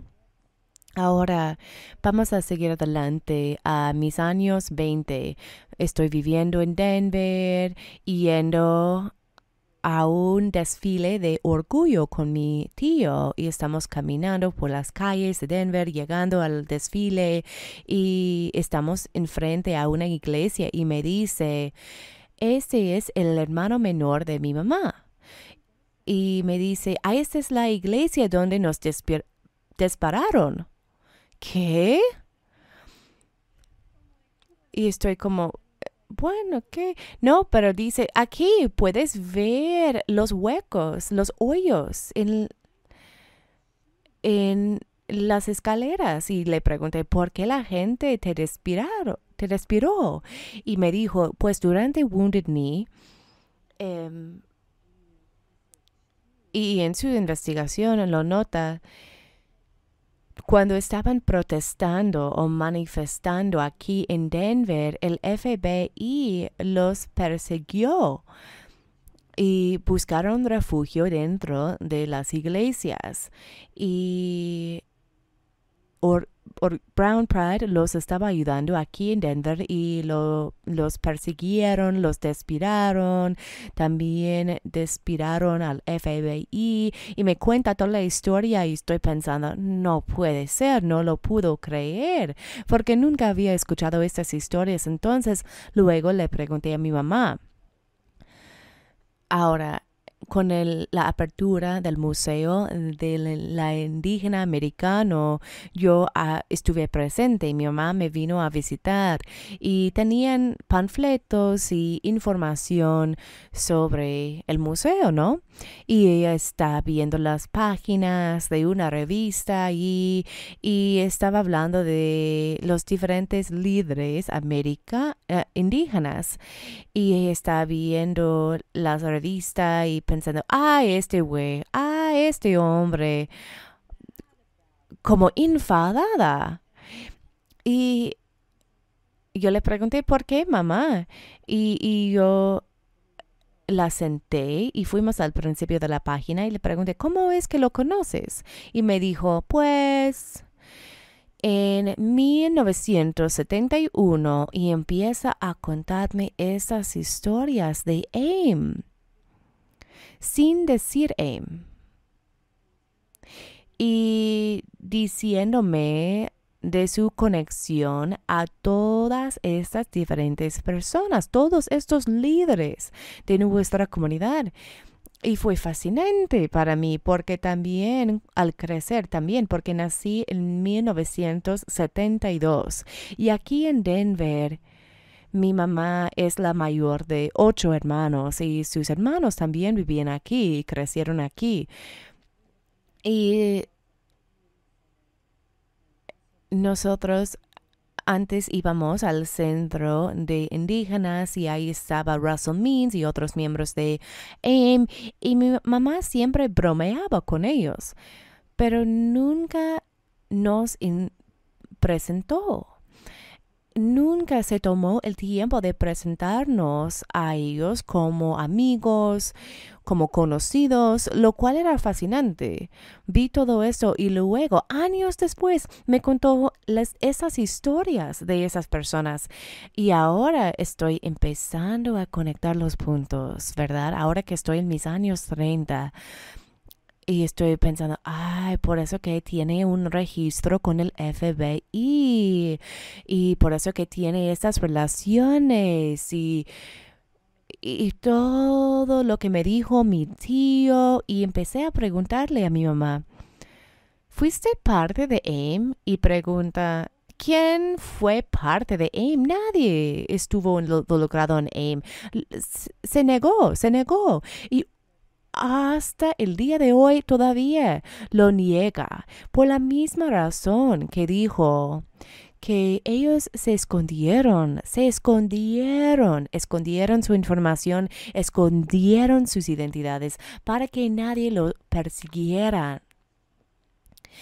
Y como estos casos en la corte estaban en curso, se escondieron, pero lo que sí me enteré es que mi mamá me tuvo a mí en 1972. Luego hubo la ocupación de Wounded Knee un año después y mi mamá transportaba suministros médicos y eso lo hacía conmigo porque tuvo que robar suministros médicos. Por eso que me llevó a mí al médico y robó los suministros allí. Yo era como su su cobertura, ¿no? Y uno de los eventos sobre el que mi tío me contó, perdona mi lenguaje, pero dijo, su mamá es una chingona. Y yo le dije, no, no, no, mi mamá es Martha Stewart. Pero mi tía, una de sus hermanas, em, fue golpeada por una rifla y la arrestaron. Em, el, el, FBI la arrestaron y mi mamá caminó allá y la arrastró por atrás por su cabello. Y mi mamá me, mi, mi tío me contó esa historia y no la creía, ¿no? Y cuando le pregunté, dijo, quizás fue así. Entonces no me da confirmación clara, pero hay mucha especulación. Y ha sido una parte de mi vida Y cuando leí su pregunta anoche, estaba pensando, ¿cómo me ha influido? ¿Cómo me ha inspirado? Y le pregunté a mi esposo, porque él me conoce mejor, ¿no? ¿Cómo me ha inspirado? Y dijo, al ver a tu mamá como una mamá, como una persona normal, que es capaz de marcar grandes cambios, y la historia de las personas indígenas, esto ha sido una gran inspiración. Mi mamá empezó a hablar en las escuelas en 1976 y yo la acompañé porque soy la más chiquita. Y mi mamá siempre decía que mi papá le pidió que hiciera estas presentaciones porque tenía tantos conocimientos y su respuesta siempre había sido, pero nada, soy nada más una mamá, ¿quién me va a escuchar a mí? Y yo crecí con esto. Pero también crecí viéndola como líder, como alguien que no se rindió, como alguien que me dijo todos los días, sabes quién eres, nadie te puede quitar eso y tú lo sabes. Y eso es lo que me inspira, que todas, toda la organización, el trabajo que hicimos fue hecho por nuestras familias, nuestras tías, nuestros tíos, primos, primas, mamás, papás, que lucharon por nosotros. No se preocupaban por arriesgarse a sí mismos, porque querían darnos a nosotros un mejor futuro, mejores oportunidades. Y eso e-, es lo que ha hecho el movimiento y todas las anécdotas, ¿verdad? Esa es una larga historia para terminar diciéndoles este punto, pero tenía que contarles esto porque no me di cuenta de esto al crecer. Y esto fue intencional, la mentira. Y si fuera a preguntarle hoy en día, yo me imagino que se reiría y diría, el FBI me pudiera haber encontrado. Si quería arrestarme, pudieran haber hecho esto pero no lo hicieron. Y mis tíos y mis tías también estaban involucrados en el movimiento y me imagino que todavía se lo niegan.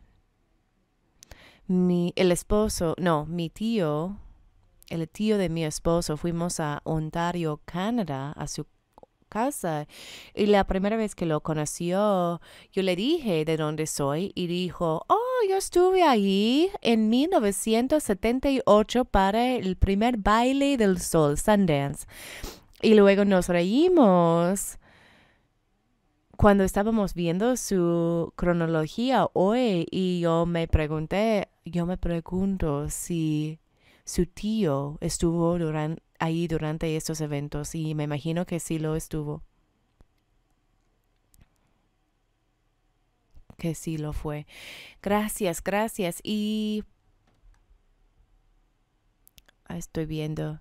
Estamos cubriendo tanto.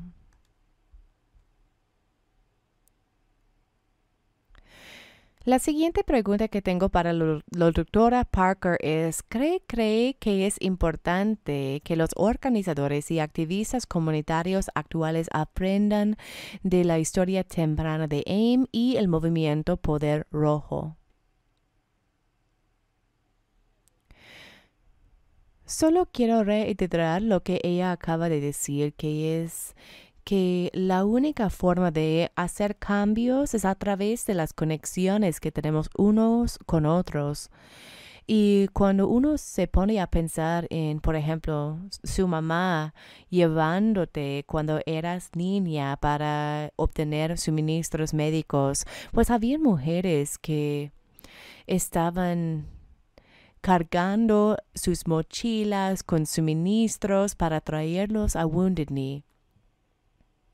Y pues cualquier persona involucrada en los esfuerzos de organizar a través de comunidades, esto no sucedió por simplemente venir a una reunión, sucedió porque eran amigos y se conocían y se apoyaban y esas comunidades se apoyaron unas a otras.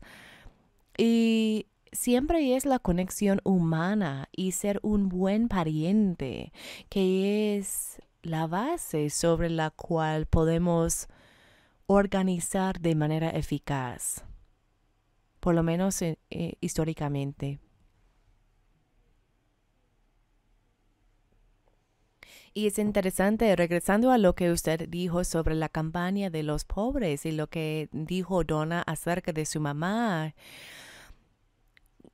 un par de cosas. Uno, que en cada una de estas series tenemos que regresar a la campaña de los pobres y ese momento de intersección es muy importante. Yo me acuerdo que Shirley Romero habló de esto de la lucha por los derechos territoriales de San Luis y Grace Terejina lo habló de Nuevo México, Corky estuvo ahí, también fueron muy importantes en el movimiento chicano y esto es algo importante, ¿no?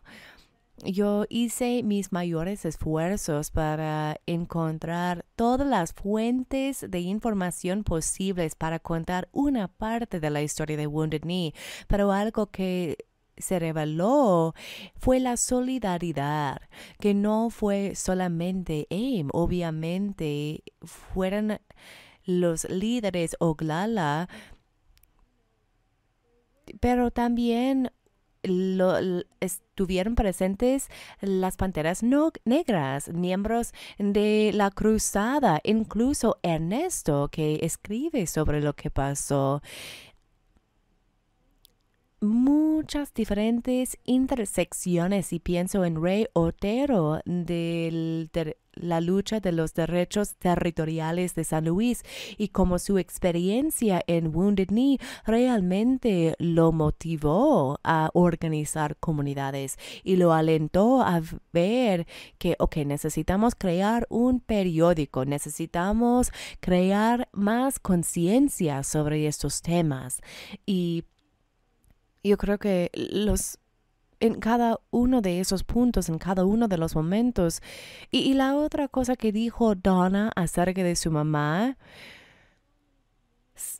son tantos líderes comunitarios con los que he trabajado que han dicho, pero yo nada más soy ta ta ta.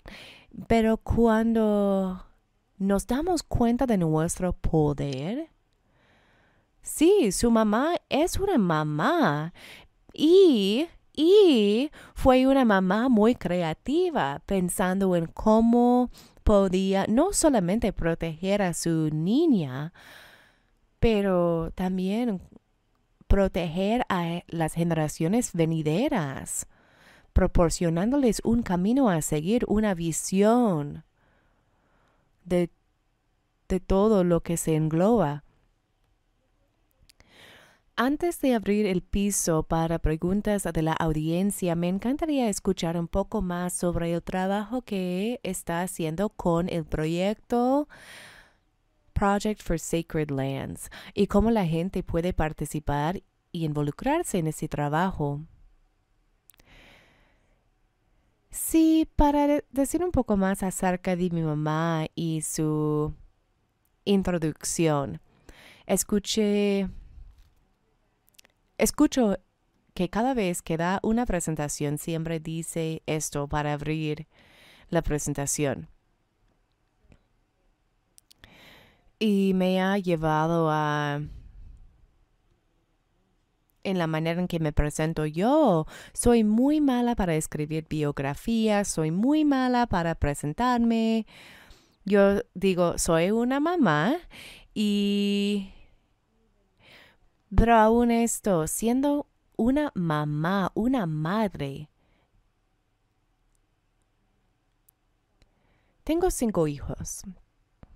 Y en la cultura lakota, la creencia es que nuestros niños escogen a nosotros, que viven en las estrellas y cuando bajan nos escogen a nosotros. Y esto cambia la responsabilidad un poco, ¿no? Estos niños, estos corazones cariñosos, escogieron a mí para orientarlos, para ayudarlos en este mundo.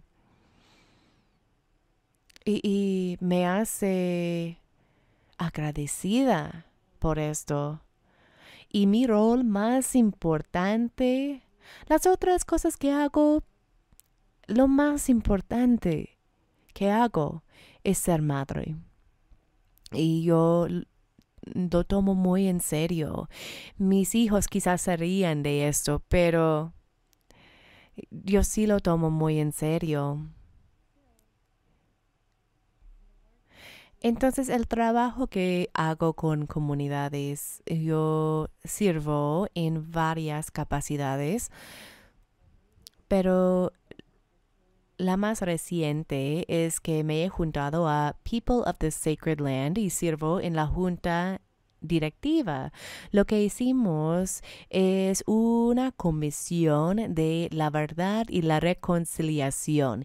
Y lo que hace esa comisión, lo que hemos hecho hasta la fecha, es hemos tratado de encontrar a investigadores de diferentes naciones tribales que históricamente llaman a Colorado su tierra original y fueran removidos del estado de Colorado.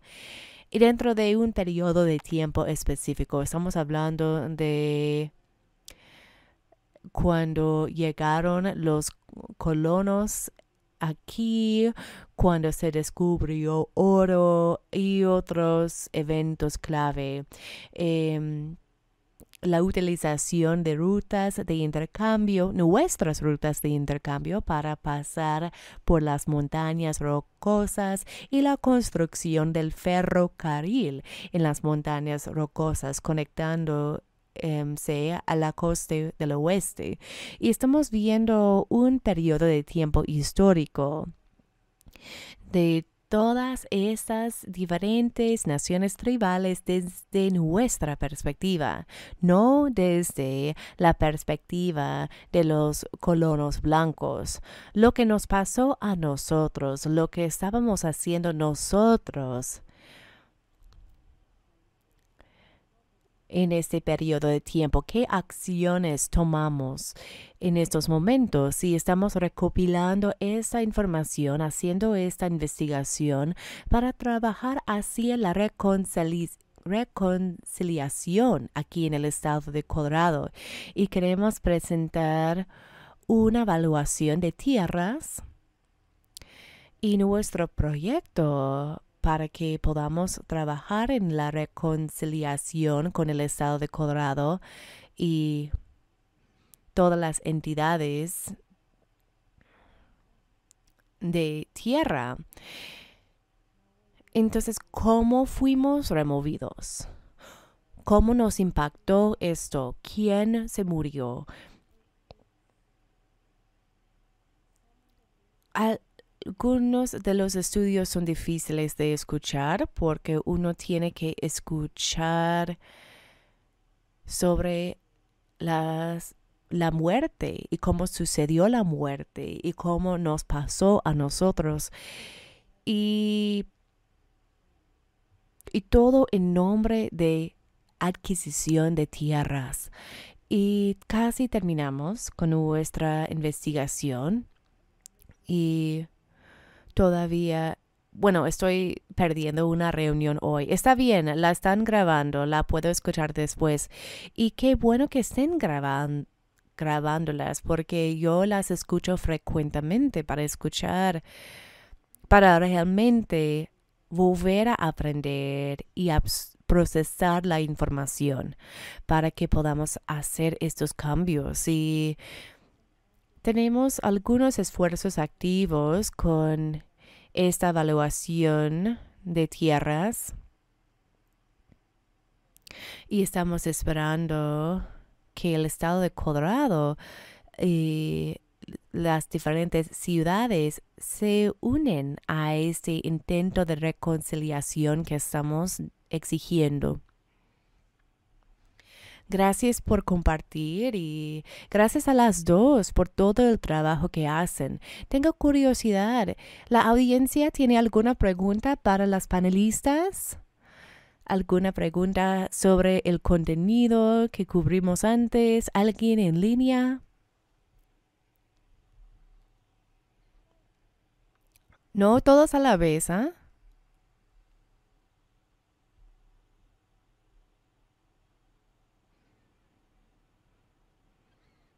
Hola, mi pregunta es con respecto a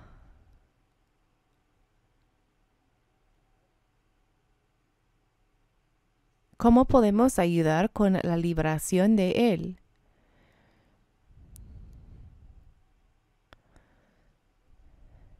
acaban de hacer una caravana para liberar a Leonard Freepelter. Hace un mes fue, o en agosto.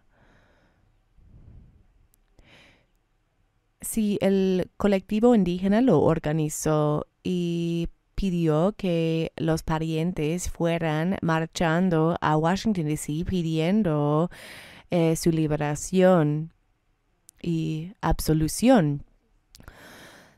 Yo creo que la continuación de escribir cartas, la continuación de peticiones a nuestros representantes en el Congreso y la Cámara para que apoyen este esfuerzo y para que lo traigan al presidente haciéndolo constantemente y continuamente, porque nos gustaría que esté en casa en sus últimos días, que descanse en paz con su pueblo.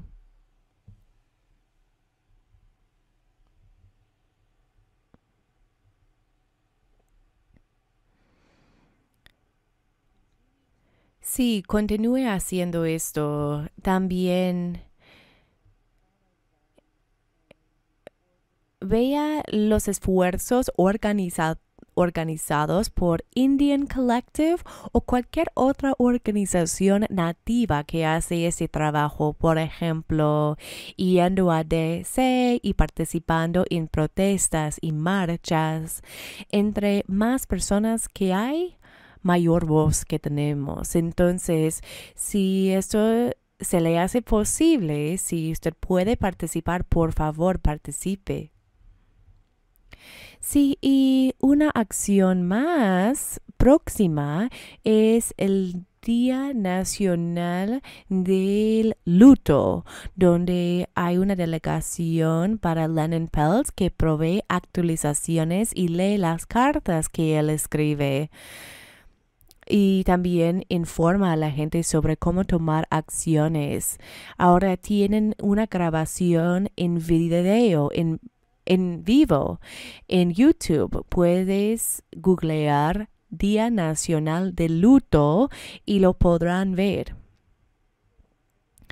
Lo llevan a cabo en el este, entonces es un poco temprano aquí en Denver, pero dan muchas actualizaciones muy importantes sobre lo que está sucediendo con la gente indígena en todas las Américas.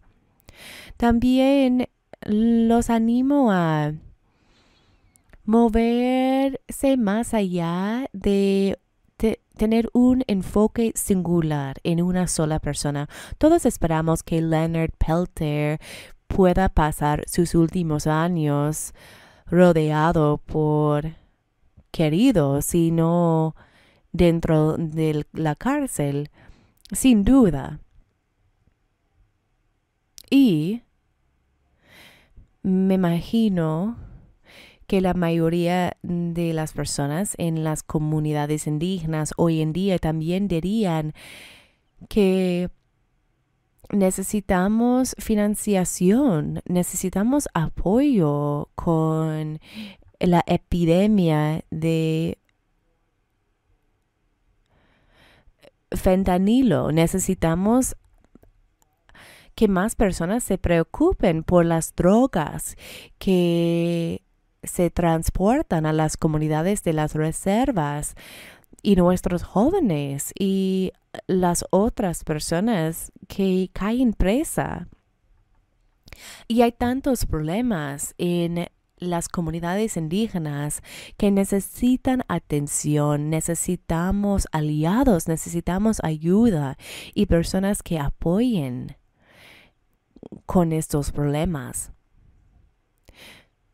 pero que no se centran en una sola persona. Estos problemas se centran en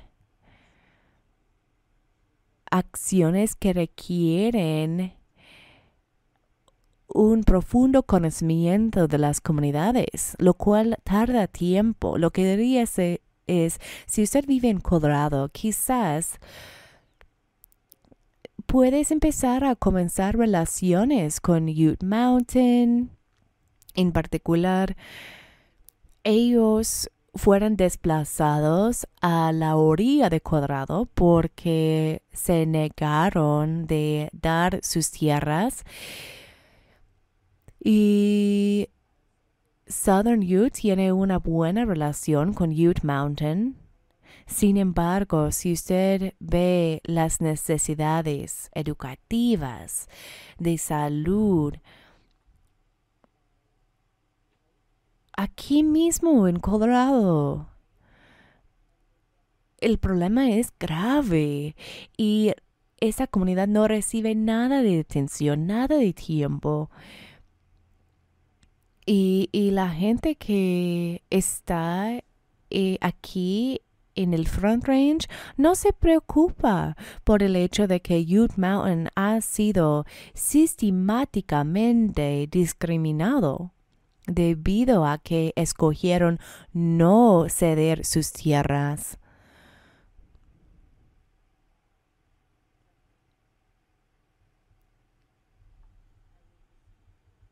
Bueno, yo recomiendo o ceder sus tierras. Yo recomiendo que ustedes comiencen a nivel local.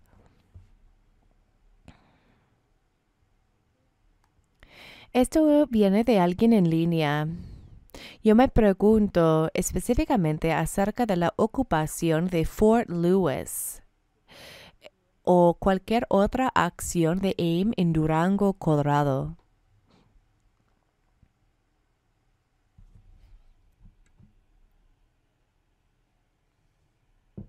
No tengo conocimiento de esa ocupación, así que no puedo comentar. No, no creo que tengamos esta información. Yo sé que Fort Lewis está haciendo un muy buen trabajo de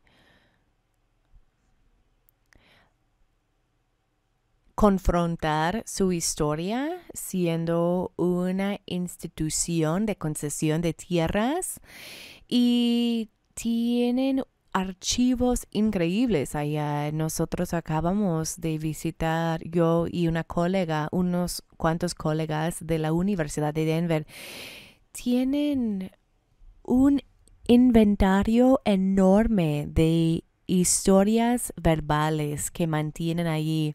Desafortunadamente no tengo conocimiento sobre esto, pero me imagino que los arquiveros de Fort Lewis lo sabrían. Creo que se, se llama Center for the American West. No me acuerdo el nombre preciso. Pero sí, tienen muy buenos recursos, muy buena facultad. Su programa de estudios indígenas es excepcional. Y bueno, te dirijo a ellos.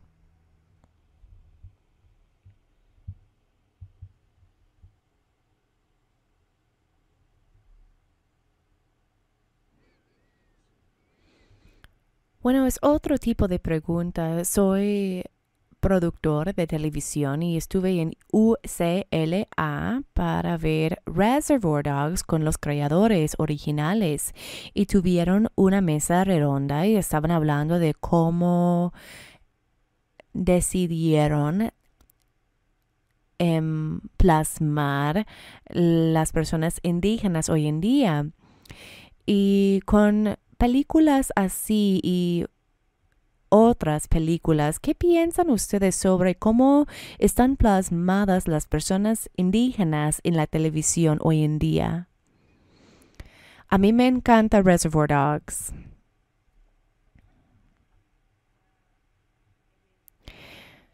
Vamos eh, por buen camino con estos shows, sí.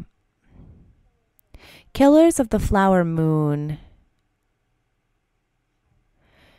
La contratación de consultores Osage y historiadores Osage, asegurándose de que el vestimiento pasara por Osage. No simplemente se les preguntó que informaron una sola vez, sino que estaban a su lado en una silla en todo momento informándolo, informando cómo se hizo la película y claro que eso cambió la narrativa y el transcurso de la creación de la película.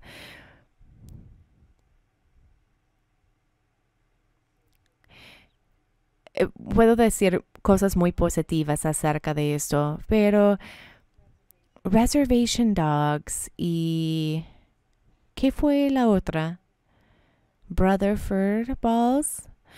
Estas dos nos movieron a una forma de vida contemporánea, lo cual es fundamental que las personas vean, que conozcan y entiendan que todavía estamos acá. Nosotros somos increíblemente chistosos y todas estas áreas de preocupación nos impactan todos los días, aún como cuando somos niños, no hay separación entre la educación y la atención médica. No todos son lo mismo y todos son importantes. No, no lo mismo, pero todos son igualmente importantes a nosotros. Y no... Si esto no se reveló en esta serie explícitamente, creo que sí fue un mensaje subyacente. Y muy fundamental, es muy fundamental vernos en una vida contemporánea. No sé qué pensaste tú, pero Brotherford Falls, el episodio con el Pretendian, fue uno de mis episodios favoritos en la última década. Pero también con Reservation Dogs y he estado pensando en el impacto de los internados en el suicidio en nuestra comunidad, en especial dentro de nuestra juventud. Yo creo que es una serie muy importante que va a continuar siendo importante en el futuro. Y cuando uno se pone a pensar en el episodio sobre Dear Woman, donde nos llevan a un espacio y nos ponen a darnos cuenta de qué tan aterrizador fue ser un niño en un internado. Yo creo que esto fue una representación muy importante. Y que el otro momento, el otro momento que realmente lo balanceó y es tan cierto acerca de las comunidades nativas es que hubo un episodio donde Willie Jack fue a la cárcel para ver a su tía y hubo un momento cuando están orando las, los dos y uno ve todos los ancestros detrás de Willie Jacks que están allá apoyándola y amándola. Y esto es la cultura indígena también.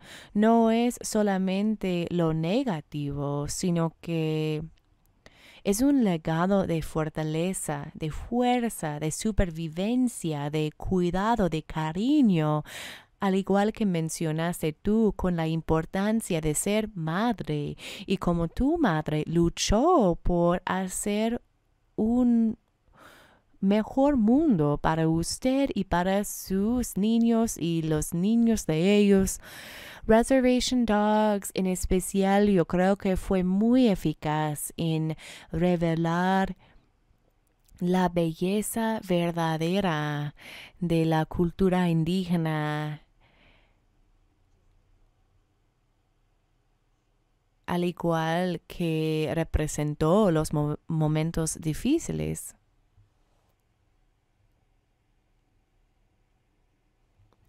¿Alguna pregunta más?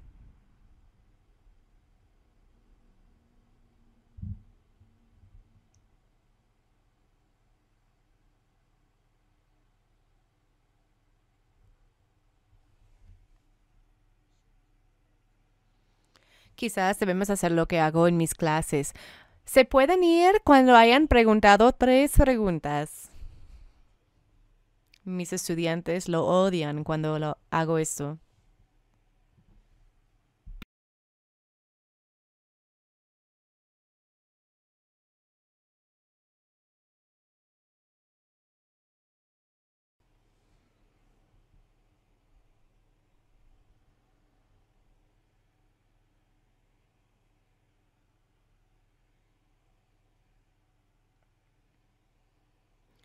Gracias. Mi pregunta tiene que ver con el libro de Celeste acerca de las prácticas espirituales y culturales como una forma de acción directa en Wounded Knee, las ceremonias de sudor, la danza de los fantasmas. Básicamente quería preguntar acerca de esto acerca de la historia, quizás las prácticas contemporáneas. Y me hizo pensar en la doctora Rosalie Mesa que habló del autocuidado a pesar de el genocidio del pueblo palestino hablando del autocuidado y el autocuidado como una práctica individual siendo un paradigma colonial de lo que hacían los colonos blancos en casa y solos y por eso que creo que hacerlo en público es muy poderoso y es una acción política. Quisiera compartir algo más con respecto a este tema. Solo para decir en breve que para mí la oración es una forma del autocuidado y no soy cristiana. Si solamente lo fuera, porque podría ir a la iglesia. Pero... Y no es que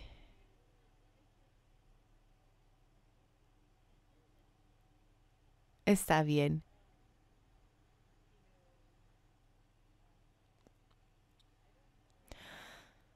No soy experta, supongo, en las creencias profundas de mi comunidad, pero me encanta orar y sé orar y ese es un momento en el que puedes conectarte con sus antepasados que todavía están presentes apoyándote, queriéndote y es una forma de expresar esperanza para el futuro. Cuando yo oro, siempre trato de recordar a todos los miembros de mi familia y decir, por favor, que los cuides, que los ayudes a vivir con fuerza, vivir bien, que los protege de daño. Hay cosas que que son lo mismo en las creencias indígenas y las creencias cristianas y las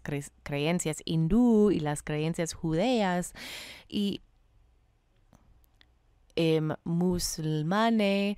Todos amamos a nuestros familiares, todos queremos que nuestras familias estén a salvo, libres de violencia, libres de peligro. Y pues hay momentos en los que lo que está sucediendo en Israel y Gaza y Palestina ahora mismo no se arreglará a través de oraciones, no se arreglará por las meditaciones que hago, pero cuando uno siente que no tiene el poder estructural para cambiar las cosas, yo creo que es poderoso someter su cerebro a la idea de que quiero lo mejor para los demás y voy a invertir mis energías en esto.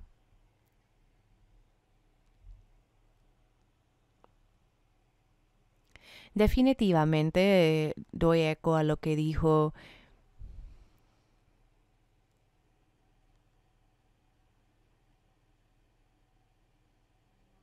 mi mamá siendo un, una persona que sobrevivió los internados no creció con sus costumbres tradicionales. Entonces, cuando el movimiento comenzó en los 1960, ella quería regresar a su, a su hogar para entender y comprender.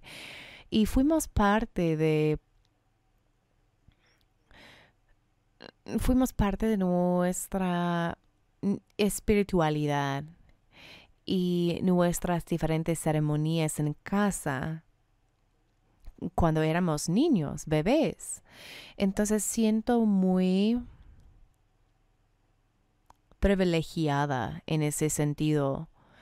Y esta es una palabra horrible usar, pero la razón por la cual que la uso es porque yo sé que no todos tuvieron esta oportunidad.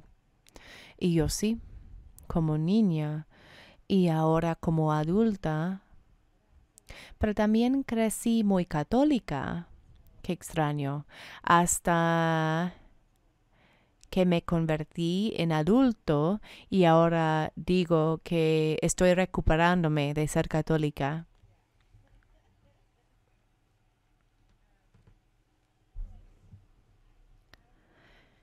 Pero yo también veo la oración como autocuidado y la mejor forma de reconectarse y resentarse. No rezo frecuentemente en público y no hago oraciones en grupos. Me han pedido dos, de lo me, me acuerdo dos veces. Y estoy llegando a esta edad en mi vida donde quizás sea la mayor en el cuarto. Yo acabo de hacer una oración que escuché de mi pueblo. Y después esto fue con un grupo no indígena, mitad indígena, mitad no indígena. Y una de las mujeres después me dijo que era una guerrilla de oración. Y yo pensé, eso lo voy a poner en mi subtítulo del correo electrónico. Una broma.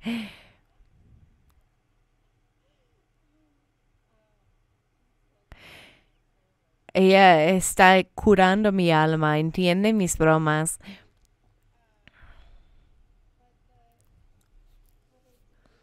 Pero lo, lo, que no me di cuenta fue la manera en que oramos es muy diferente a la manera cristiana de orar. Como dijo, la manera en que pedimos nosotros somos muy humildes y pedimos salud, bienestar, pedimos que todos estén saludables, sanos, bien, no solamente mí, pero todos, para que yo también esté bien y saludable y amada. Si todos que me rodean están bien, estaré bien yo. Y no hay definiciones que describan esto. Yo creo que todas las personas tienen su propia forma de ver el bienestar y la salud. Lo que signifique para usted es lo que significa en su oración. Y no creo que, no sé, se ve diferente para nosotros en estos momentos y no me di cuenta de esto hasta aquel momento porque yo simplemente rezo como habitualmente rezamos y no, no pensé que era algo especial, solamente fue lo que hacemos.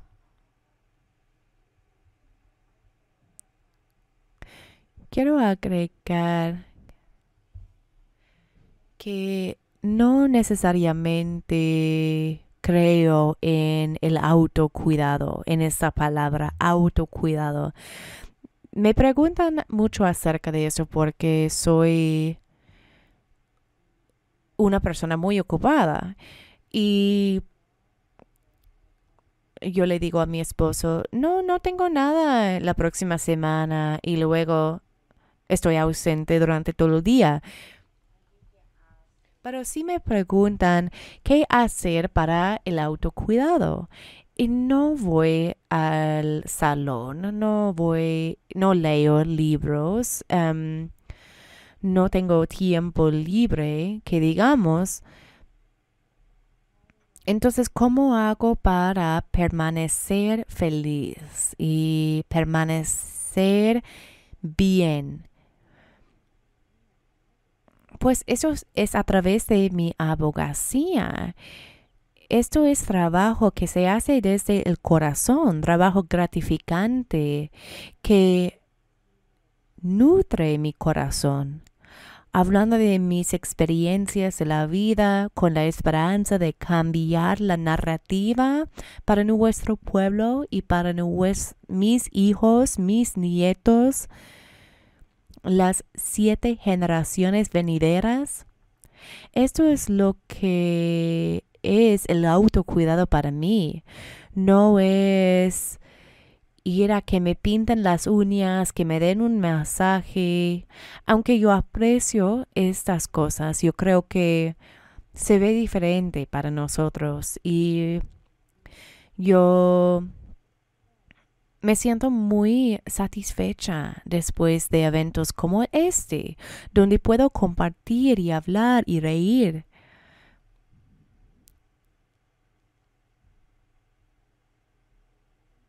Muchas gracias por esto. Sí, esto va a ser nuestra última pregunta.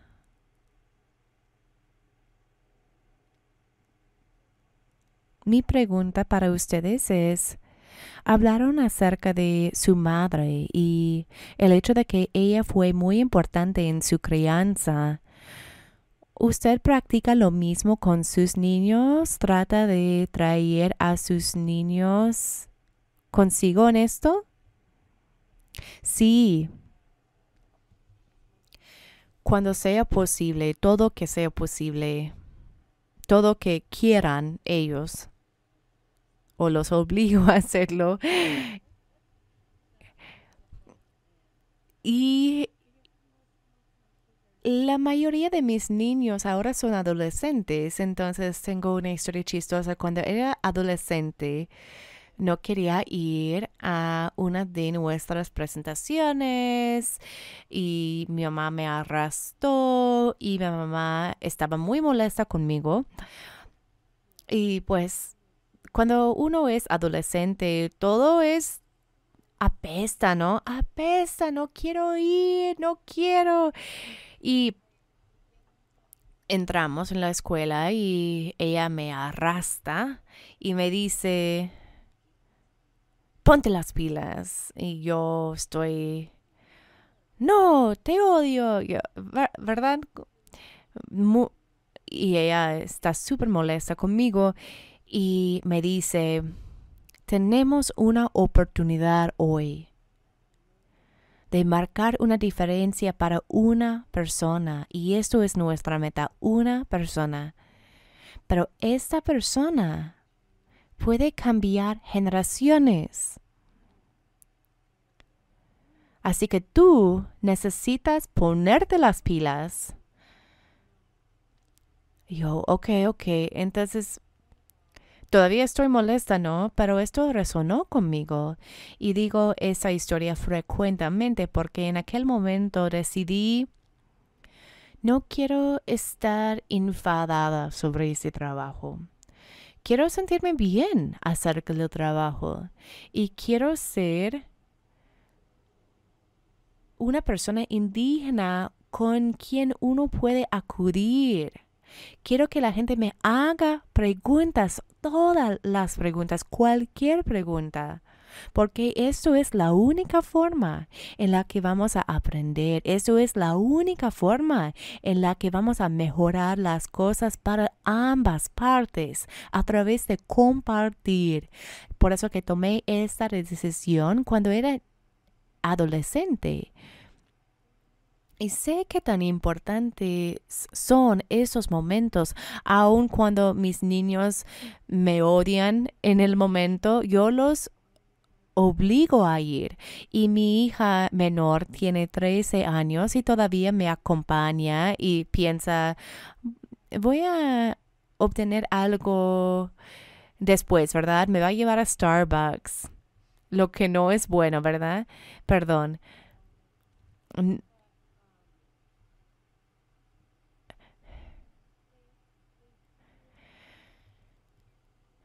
Pero realmente aprecian estar incluidos en estos momentos conmigo y escuchar acerca de eso. Y yo espero que esto eleve su voz y su creencia en el hecho de que pueden marcar una diferencia ellos también. Así que sí los obligo a venir. Yo actualmente estoy en una batalla contra eh, la tableta de mi hijo. Y él está aquí presente con nosotros hoy, allí atrás con mi pareja. Y da miedo. Y creo que necesito hablarte después porque mi hijo tiene 11 años y estamos entrando en la fase de... Ah, pero es que no eres cool, no tienes ninguna idea de qué tan padre es ese video de YouTube y no sé qué. Nosotros tampoco. Pretendemos. Pero bueno, de todos modos, yo creo que en los momentos cuando estamos pasando tiempo juntos sin la tableta. Yo creo que las lecciones más poderosas que he aprendido como humano vienen de él y vienen de escuchar su perspectiva y aprender cómo tratar a otra persona con dignidad y respeto. Y yo no siempre hago las cosas correctamente. Como padres nos equivocamos a veces, pero estamos tan afortunados que estos niños nos escogieron a nosotros y que estén dispuestos a enseñarnos.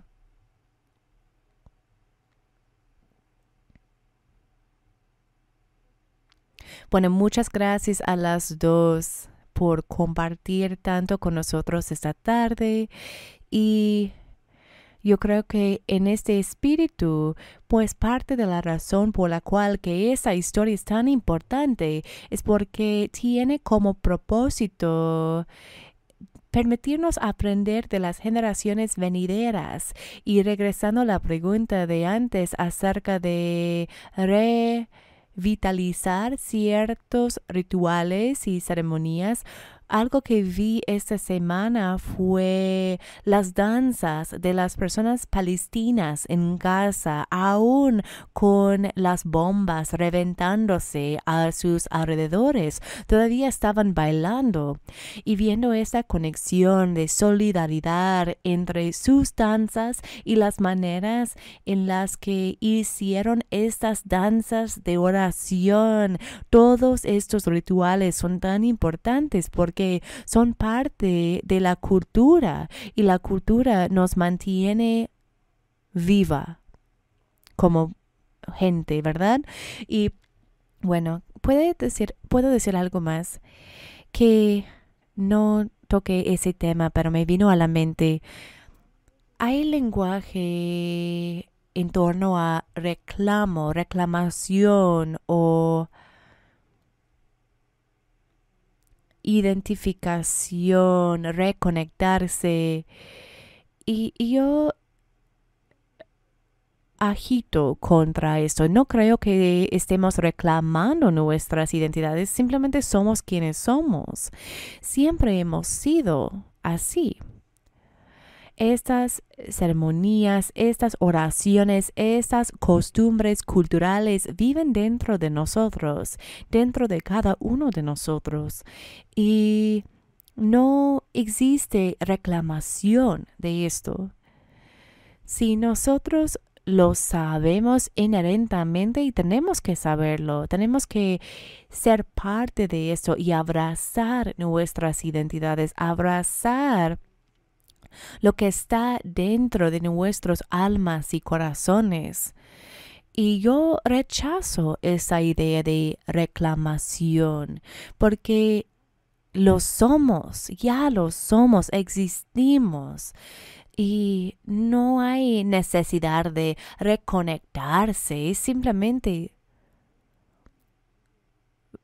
vaya, vaya a sus familias, sus hogares, sus pueblos, lo que sea la identidad para usted, vaya y hágalo. No es cuestión de reclamar o reconectarse, simplemente es ser quien eres.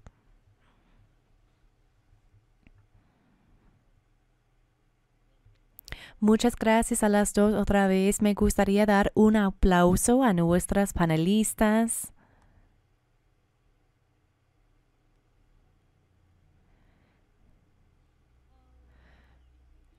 Al concluir nuestro tiempo juntos, y esta serie me gustaría otra vez dar las gracias al Colorado Trust por el apoyo financiero de este trabajo. En especial quiero dar las gracias a Wafa Said por apoyarnos con la coordinación de toda la logística, Alejandra con todo lo de Zoom, Joana por continuar apoyando este desarrollo de capacidades para nuestros movimientos de justicia social. Quiero expresar mi gratitud con Regis University, la Oficina de Excelencia en Diversidad e Inclusión, en especial la vicepresidenta Nikki González y los estudiantes que nos han apoyado para cada serie. A nuestro AB, Brandon con Denver Media y a todos ustedes por asistir a esta sesión educativa al igual que otras sesiones educativas este otoño. En cuanto a los próximos pasos, va a haber van a haber grabaciones de cada una de las sesiones disponibles en inglés y español en mi sitio web en este enlace celestialalegria.com slash puppet tanto como en el sitio web del Colorado Trust. Y cuando estén disponibles, ojalá que estén disponibles en diciembre, vamos a compartirlos con ustedes. Muchas gracias otra vez por ser parte de este momento importante y este trabajo importante. Que tengan una buena noche.